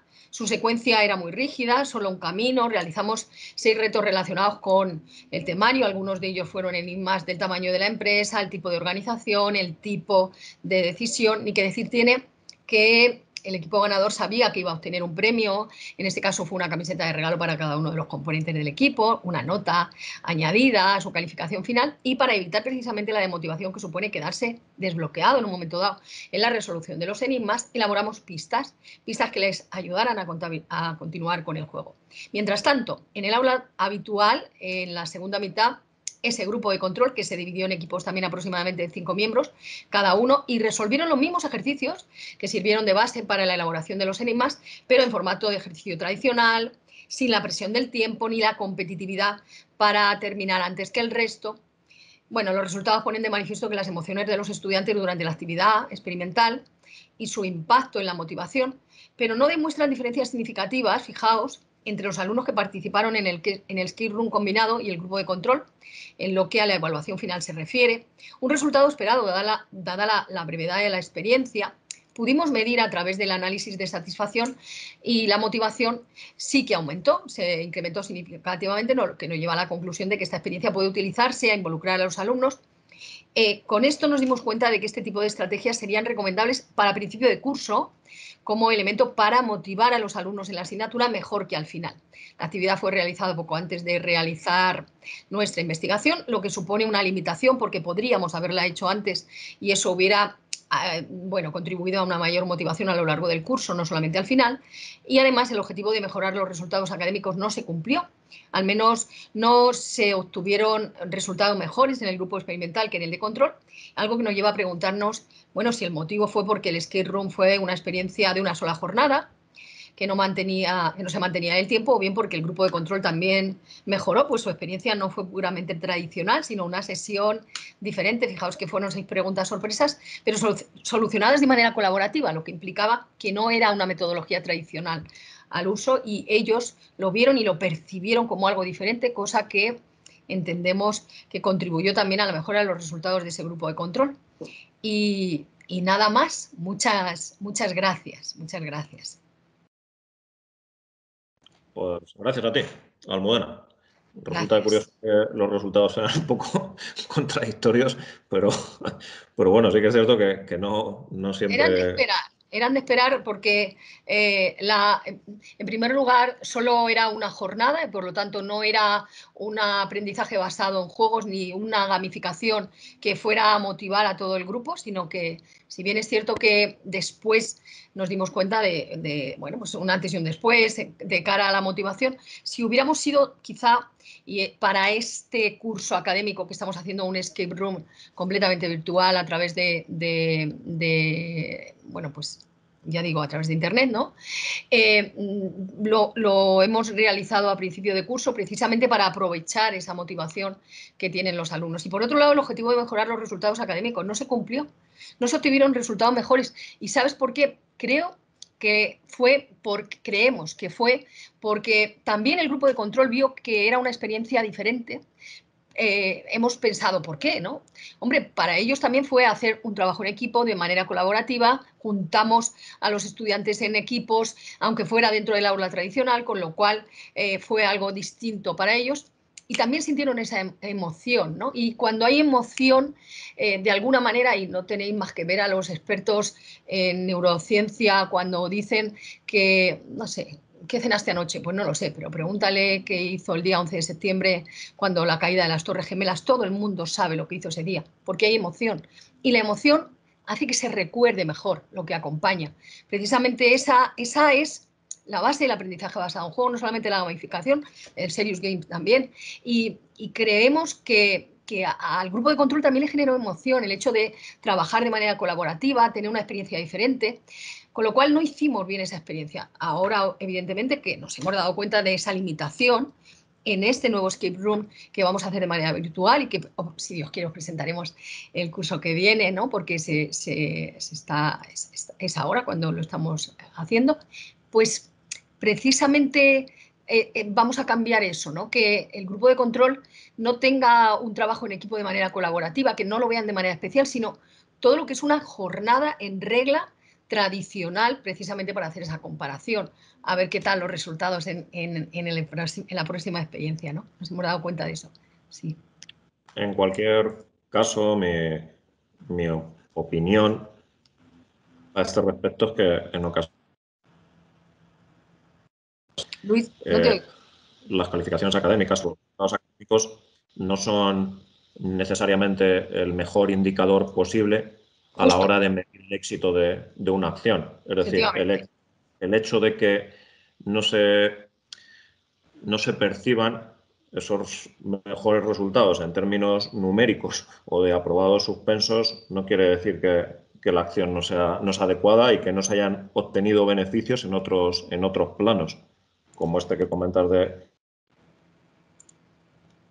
Creo que sí, probablemente hubierais medido ese indicador de alguna otra manera, los, resultados hubieran sido buenos. Lo hemos hecho y hemos escrito un artículo que está en, vías de, publicación, en el que lo que hemos analizado ha sido precisamente la emoción, esa motivación que han tenido los estudiantes y, ese grado de, emoción eh, sí que se ha dado, se ha dado incluso en mayor medida en ese, en ese grupo que, experimental, y, es, y ha sido precisamente lo que hemos medido. este es el problema de la innovación docente, que en ocasiones nos quedamos un poco midiendo únicamente lo que es el resultado académico, cuando en verdad hay otros elementos que son mucho más importantes que el propio resultado académico. Prueba de ello son las competencias, ¿no?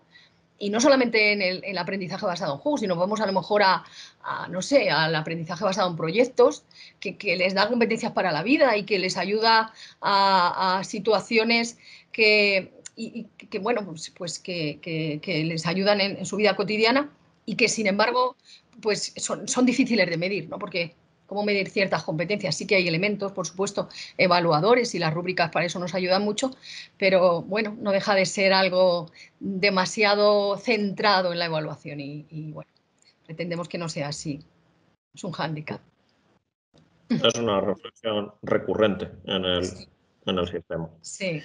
Pues muchas gracias, Almudena. Muchas gracias. Vamos a, a ir con la que, si no me equivoco, es sí, y la, última propuesta de, nuestra mesa. Los autores son Antonio, Antonio Montero, Rocío Gallego, eh, Tais, que también estaba en, en, otra propuesta anterior, Tais González, y José Luis Rodríguez. Y la presentación va a estar a cargo de Antonio Montero. El nombre de la propuesta es Jolly Roger Challenge, una herramienta de gamificación para la docencia semipresencial. Pues Antonio, te cedo la palabra. Hola, buenos días. Eh, bueno, lo primero de todo, muchas gracias y estamos contentos de poder compartir con vosotros en esta sesión. Voy a compartir pantalla con la presentación. Aquí la tenemos. Vale. Bien, pues eh, os, voy a, os, voy a, contar en nombre de, José Luis, de Tais y de Rocío, y de mí mismo, lógicamente, esta experiencia que hemos desarrollado.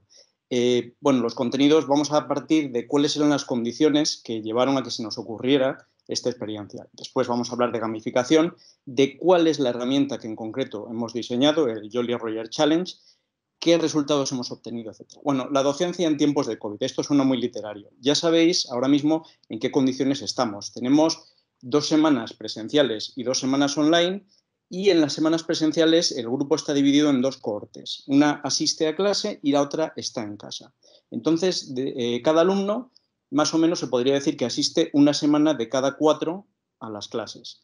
Esto genera unas ciertas complejidades. Bueno, este sería un esquema parecido a cómo serían las clases para un alumno. A esto nos hemos enfrentado todos nosotros. Claro, la historia es que los alumnos que están, eh, cuando tienes la semana, una de las semanas presenciales, tienes a la mitad de los alumnos delante de ti y la otra mitad de los alumnos están en sus casas. Y esa otra mitad les tienes que suministrar algunos contenidos. ¿Qué se puede hacer? Bueno, se les puede transmitir las clases por streaming, esta es una posibilidad. Eh, hay algunos profesores que lo han hecho, pero se nos dijo expresamente que no lo hiciéramos. Se puede no hacer nada y decir estudiad, o se puede hacer una actividad offline en la cual se les encargue hacer una práctica. Nosotros hemos recurrido a la primera y a la tercera veces, pero hemos querido hacer algo más. Hemos querido encontrar un diamante, encontrar algo que fuera más allá. Antonio, ¿Sí? Eh, lo que vemos ahora es solamente eh, la interfaz de usuario de, PowerPoint. No sé si, tienes idea de, lanzar la, presentación a posteriori.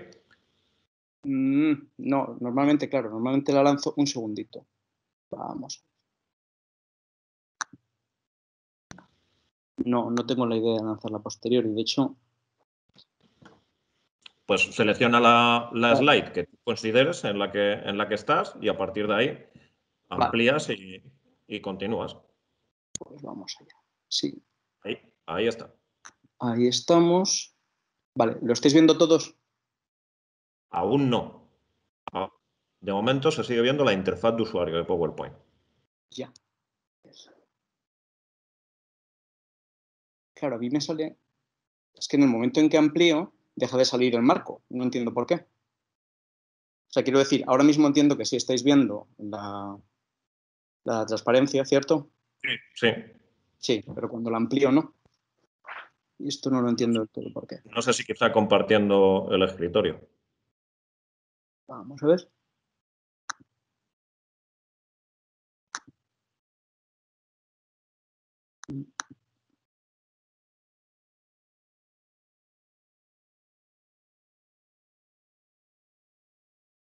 Compartamos escritorio.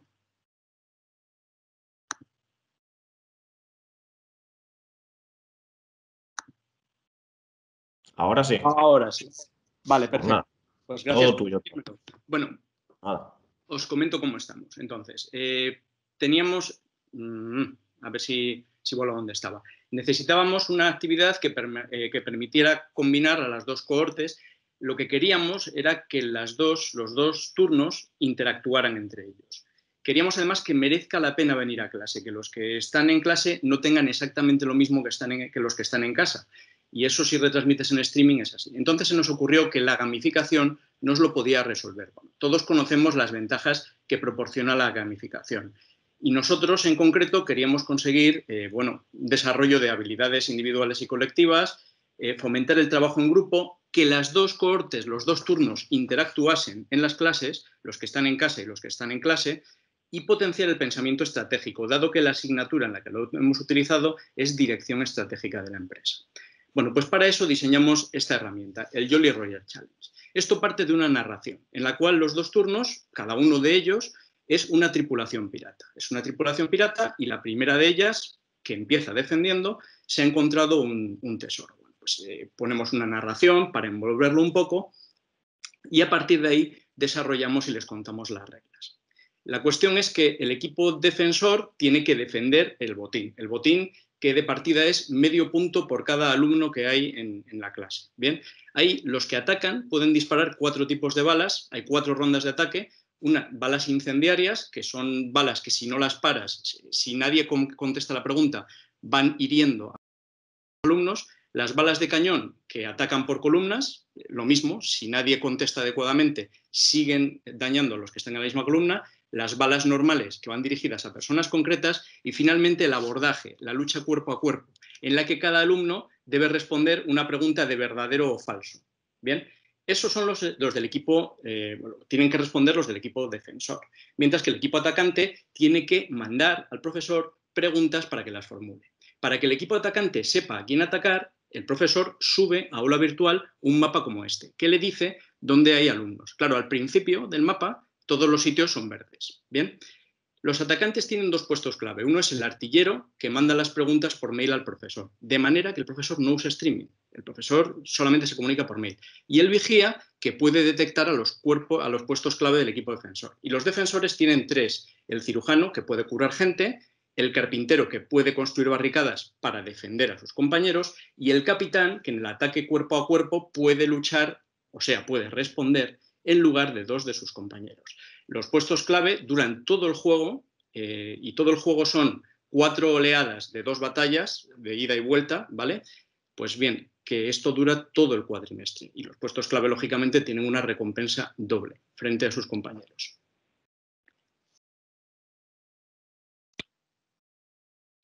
¿Qué puede ocurrir tras cada batalla? Bueno, pues depende del número de supervivientes. Si el número de supervivientes es muy alto, tienen todo el botín. Si es un poco más bajo, pierden la mitad del botín. O pierden bastante o pierden todo el botín.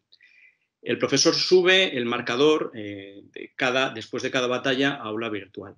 Y además, para que los estudiantes estén preparados para reaccionar a sorpresas, lo que se hace es introducir personajes que tienen eh, características especiales. Por ejemplo, Anne Bonny eh, que es la pirata más famosa de la historia y que sus balas puntúan doble. El punto de partida que nos habíamos fijado eran estos objetivos. Pues bien, lo que hemos podido ver es que efectivamente, claro, hay una interacción de los que están en clase, que se fomenta el trabajo en equipo porque el hecho de no estudiar e ir a clase y que te eliminen perjudica a todo el equipo, con lo cual la gente participa y estudia, y que se potencia el pensamiento estratégico porque lo que hemos podido ver es que la gente cada vez juega con más sentido. Esto es, el objetivo de los que atacan es eliminar gente y el de los que defienden que no te eliminen. Además, se desarrollan habilidades eh, individuales y colectivas de, por ejemplo, gestión del tiempo. Una cosa muy interesante, tardan en responder lo máximo que pueden para que se les puedan disparar las menos preguntas posibles. Esto no deja de ser ingenio. Y finalmente, respecto a motivar el estudio de la asignatura, lo que hemos podido ver es que después de estas, de estas batallas se han hecho, no el mismo día, exámenes tipo test y los resultados frente a los obtenidos el año pasado en los mismos grupos son al menos un punto superiores. De manera que este tipo de técnicas, que van más allá de la clase tradicional, han conseguido bueno, estos resultados, como podemos ver, de forma cualitativa y cuantitativa. Evidentemente vamos a hacer un estudio mucho más profundo eh, y la cuestión, cada vez que se nos plantea un problema, es eh, no el problema en sí, sino saber solucionarlo. Bueno, y dicho lo cual, quedamos a vuestra disposición para cualquier pregunta que nos queréis formular. Muchas gracias. Pues gracias a ti, Antonio. Yo estoy bastante centrado en las presentaciones, pero bueno, veo un poco el chat con el rabillo del ojo y, las críticas que, que estás teniendo en, el chat son buenas y, numerosas. Eh, nada, me, reitero en la de, de la idea. Eh, bien, pues esta esta de, Antonio era la presentación de, la última propuesta. Eh, antes de nada, daros las gracias a todos por haberos ceñido de, manera estricta al, tiempo, aunque os decía inicialmente que había un pequeño aviso ahí de, último minuto, creo que no ha sido necesario utilizarlo y bueno, ha sido como consecuencia de vuestra responsabilidad y Eh, respeto. Eh, gracias a, todos los que habéis presentado, Alicia, Marina, Alba, a, Juan Carlos, a, a Thais, a Isabel, Lorena y Antonio, Almudena y, a ti, Antonio.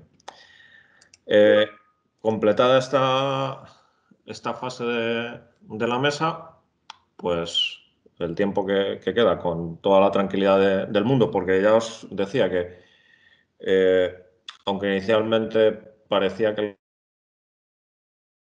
a la una tenemos, así que el tiempo que, queda pues lo vamos a destinar a, preguntas. E inicialmente veis que vuestros micrófonos están, están silenciados, pero bueno, a partir de, ahora pues podéis ir levantando la, la mano y y bueno, desilenciamos micrófono y, cada uno que traslade las, las preguntas que, le apetezca a, los distintos ponentes. Vale, parece que hay una pregunta de Tomás Zarza Núñez. Tomás Zarza Núñez. Eh, pues Tomás, todo tuyo. Nada, bueno, enhorabuena a todos los ponentes. Creo que estamos viendo prácticas, eh, nada, esta mañana muy interesante. Y yo simplemente esta gran duda que, arrastramos yo creo que todos cuando vemos este tipo de trabajos, que es cuántas horas eh, ha llevado más o menos, se han contabilizado en hacer esta práctica. Es una práctica, bueno, creo que muy chula, muy divertida y efectivamente muy enganchante. por curiosidad, ¿cuántas horas eh, les ha costado desarrollar esta práctica? Nada más.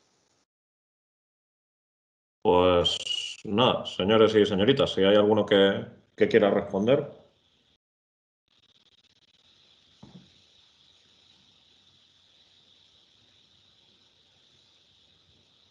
Antonio, tú quizá.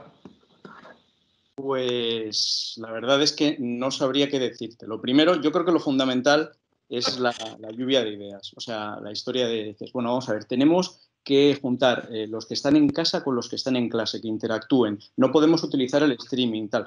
Eh, al final, lo que me ha quedado muy rápido, la frase de Jack Sparrow es maravillosa. El problema no es el problema, es tu actitud ante el problema. Entonces dices, vale, tengo estas restricciones. Bueno, ¿qué hago? Y entonces nos ponemos a hablar, pues mira, estaría bien que los que están en casa pudieran preguntar a los que están en clase y esto se sube tal. Luego ya el diseño más concreto pues va surgiendo a, chispazos de unos y otros. Y luego ya viene la parte un poco más aburrida, que es ponerlo todo en limpio. Em, el primer día que lo haces, mm, sabes que quizás el ajuste no sea absolutamente perfecto y luego necesitas más. Eh, Tomás, no se te oye ahora mismo. Eh, no, no, nada, nada, nada. confirmar, vamos.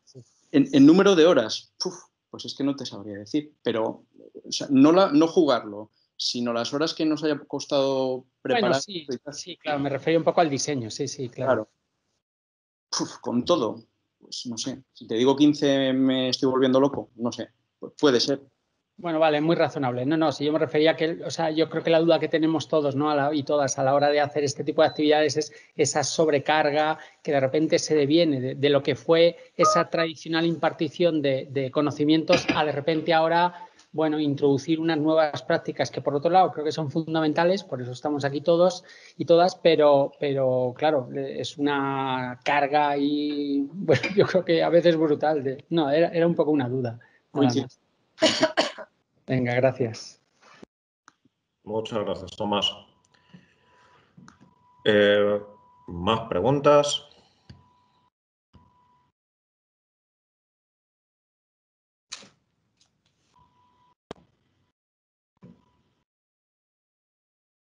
Bueno, eh, aprovecho a continuar yo con, con, lo que comentaba Tomás. A mí hay hay una propuesta que también me daba la sensación que tenía una implicación alta en cuanto a horas de trabajo, que es la de las videofac de, de contabilidad. Alba ha sido quien, quien lo ha presentado. Sí, se ha tenido que marchar. no sé si tú, Almudena, puedes. No sé si tú, Almudena, puedes. Sí, sé que, que Alba se había, marchado. No sé si tú, Almudena, puedes darnos una aproximación de, de ¿Cuánto trabajo lleva esto de, fondo? Pues como todo en innovación docente, y esto es algo que estaréis todos de acuerdo conmigo, lleva una carga asociada a, los profesores que, es inmedible. Es inmedible porque no solamente es la carga de trabajo en sí, sino toda la atención y todo el darle vueltas y, desde cuánto tiempo llevamos. Pues solo puedo deciros que, durante la pandemia hemos estado trabajando en ello, ¿no?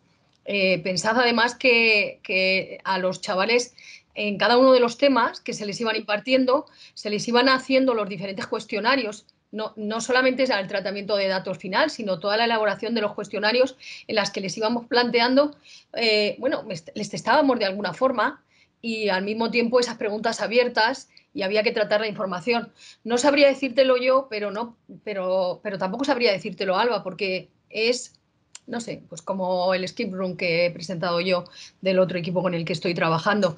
Es algo que, es imposible de medir, ¿no? Pero nos pasa a todos, nos pasa a todos y con ello contamos. Y creo que merece la pena realmente, ¿eh? merece la pena la innovación. Y fijaos, además, es que en el caso de los vídeos fast, ¿no? que fue idea de Alba, fue ella la que dijo, eh, aunque el nombre luego se nos ocurrió después y tal, de hacer vídeos con preguntas más frecuentes y no fue una idea que se planteara por el motivo del COVID, ya lo habíamos pensado antes y, bueno, pues tuvimos la suerte de, que, bueno, para el COVID iba a venir muy bien, pero en realidad es una idea de hace tiempo, entonces son muchas horas, muchas horas digo lo que Antonio, ¿no? y lo que cualquiera de los compañeros que estamos respondería, ¿no? pero merece la pena. ¿eh? Bueno, pues yo ya no te pregunto si merece la pena, porque lo has...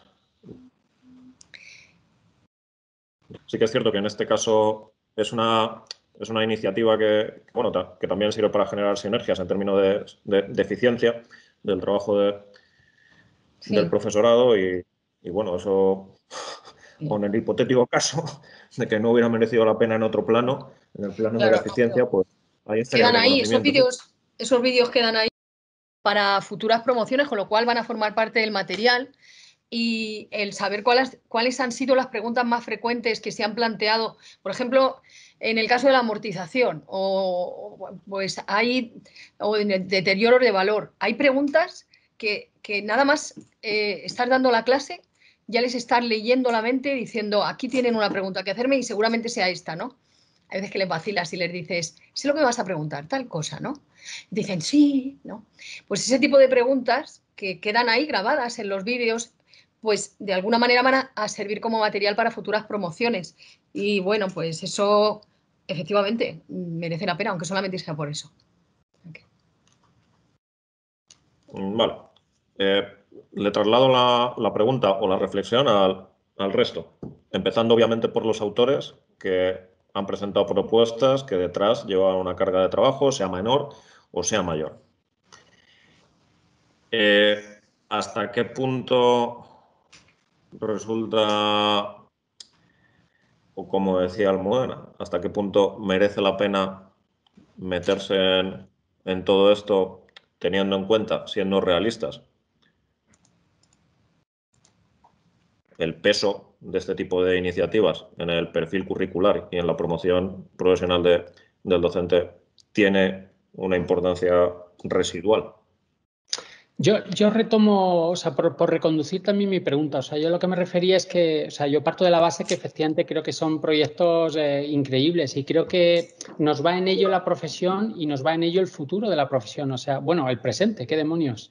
Eh, no, yo más, más, bien me refería un poco, eh, quería que hiciésemos una, una un hablar en alto todos y todas, más que nada porque lo que creo que será un, buen mensaje un poco también para la propia comunidad universitaria y también los eh, eh, rectorados correspondientes para efectivamente eh, bueno, ir construyendo, como se hablaba ayer, una política de, innovación digital donde, donde realmente haya que hacer una redistribución también de que estas tareas de alguna manera se puedan, se puedan cobrar o pagar o algo así. Y cuando digo pagar no me estoy refiriendo lógicamente a dinero, que ya sabemos que nuestra profesión no va de eso, ¿no? Pero bueno, creo que, que son iniciativas que, que, son maravillosas, que cuando nos metemos todos en esto, yo creo que efectivamente merece la pena porque lo llevamos dentro, pero que bueno, que creo que, que es un buen mensaje para, para, a quien corresponda, ¿no? El vicerrectorado que corresponda, bueno, pues que tomemos buena cuenta de ello y que tomen buena cuenta de ello para que también se pueda hacer ¿no? una,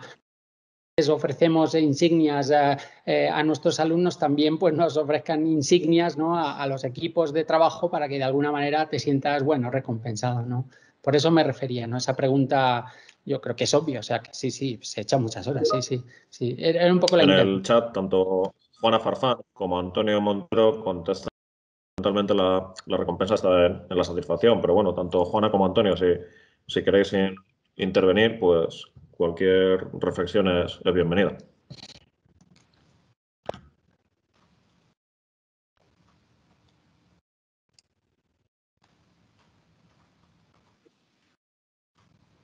No sé si se me ve bien, porque estoy con la tablet.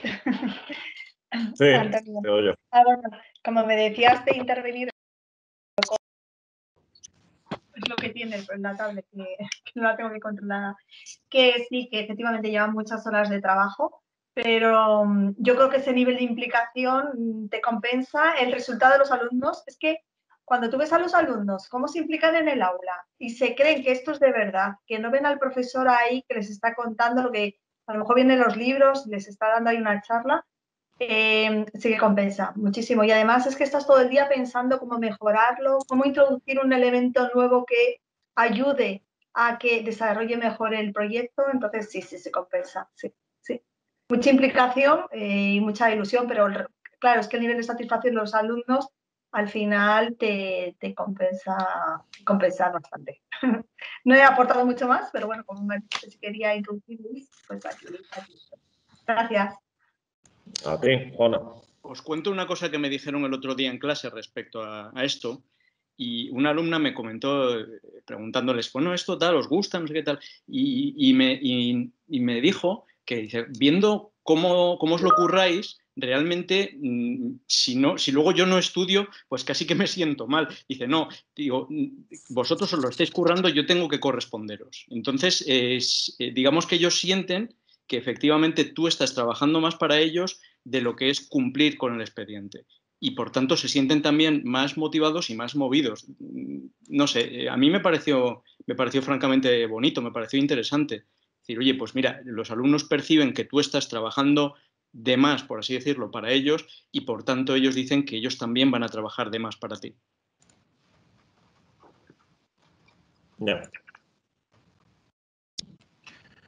Bueno, más aportaciones en este sentido.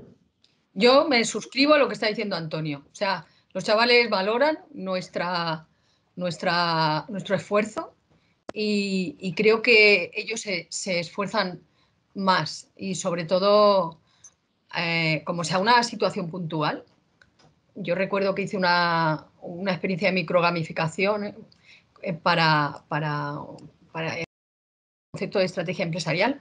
Había un antes y un después de ese momento. Y ellos lo tienen en cuenta.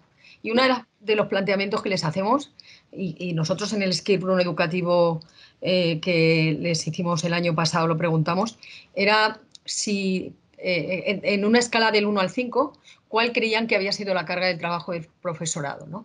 Y ellos lo valoran y, actúan de la misma manera, o sea que es una simbiosis. Mm. Ya. Yo estoy de acuerdo. de compañeros.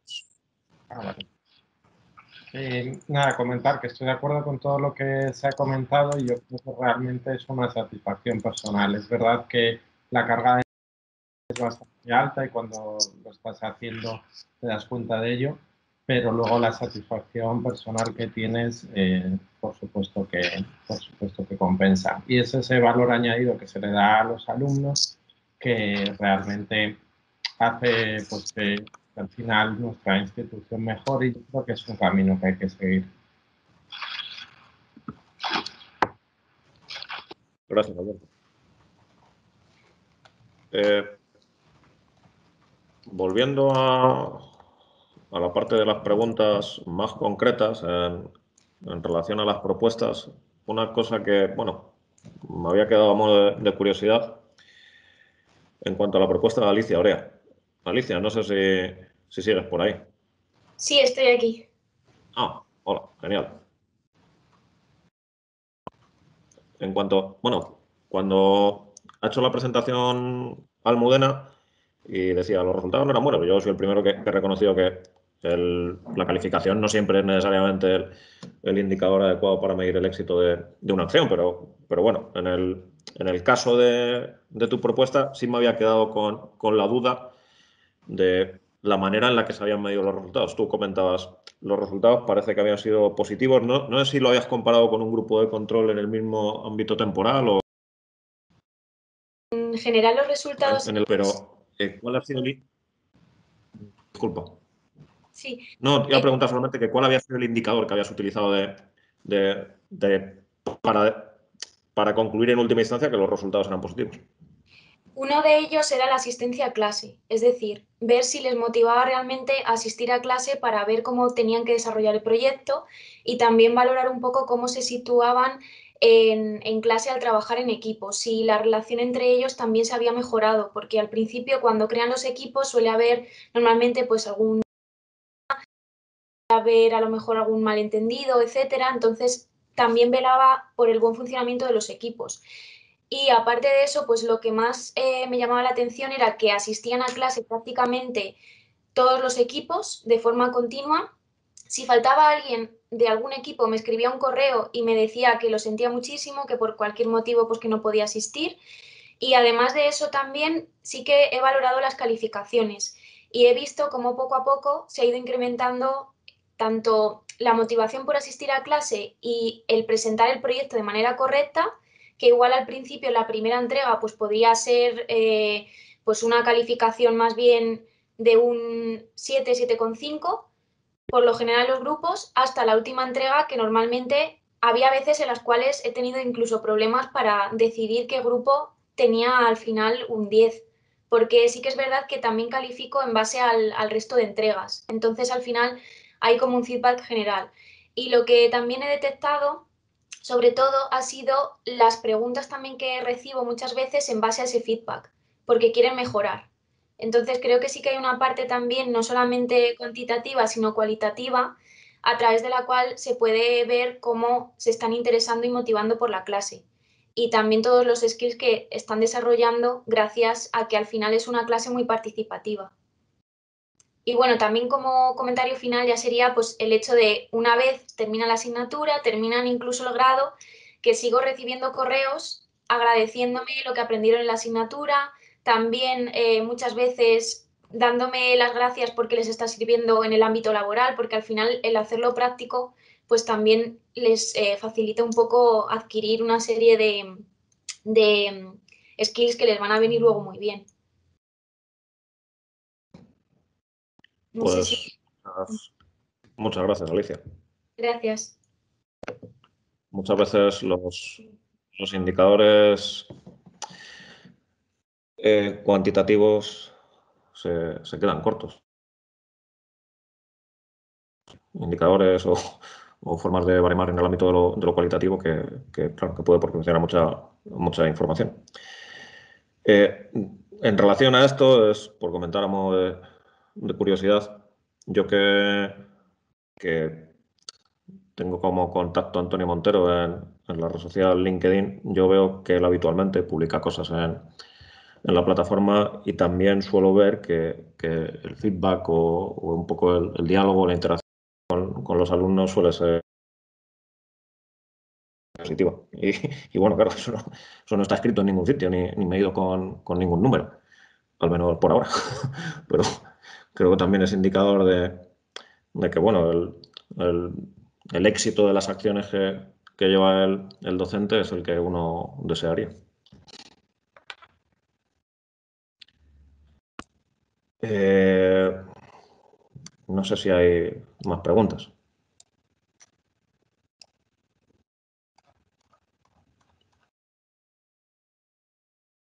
Si alguno quiere intervenir, ya sea mano alzada o, o desbloqueando micrófono e interviniendo, pues adelante.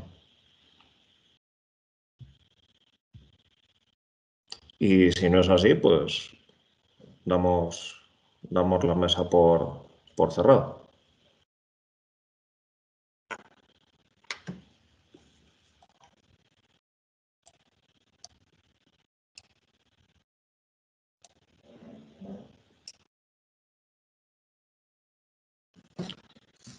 Pues señores y señoritas, lo que parece que no hay más preguntas o, o aportaciones en, en, concreto, por mi parte podemos dar la, la sesión por, por, finalizada. Me reitero en mi agradecimiento a, a los ponentes. Las nueve ponencias que habéis visto aquí no eran las únicas que se habían recibido para, para esta línea pero sí eran la, las mejores con, con, bastante, con bastante diferencia. Y creo que el resultado ha sido un panel con mucha heterogeneidad de, de contenidos y de, y de, ideas, que espero que haya servido de, de reflexión y, y, y, bueno, de, ayuda a todos los, eh, todos los que os habéis conectado en, en esta mesa virtual. Así que, sin más, pues me despido. El programa de las sesiones, de las jornadas, no termina aquí, hay todavía agenda por, por la tarde, así que os animo a, a seguir la misma y, y, con ello esta tarde nos despediremos ya hasta, hasta el año que viene y espero que nos veamos todos en, la octava edición. Así que lo dicho, un saludo para, para todos. la la la la la la la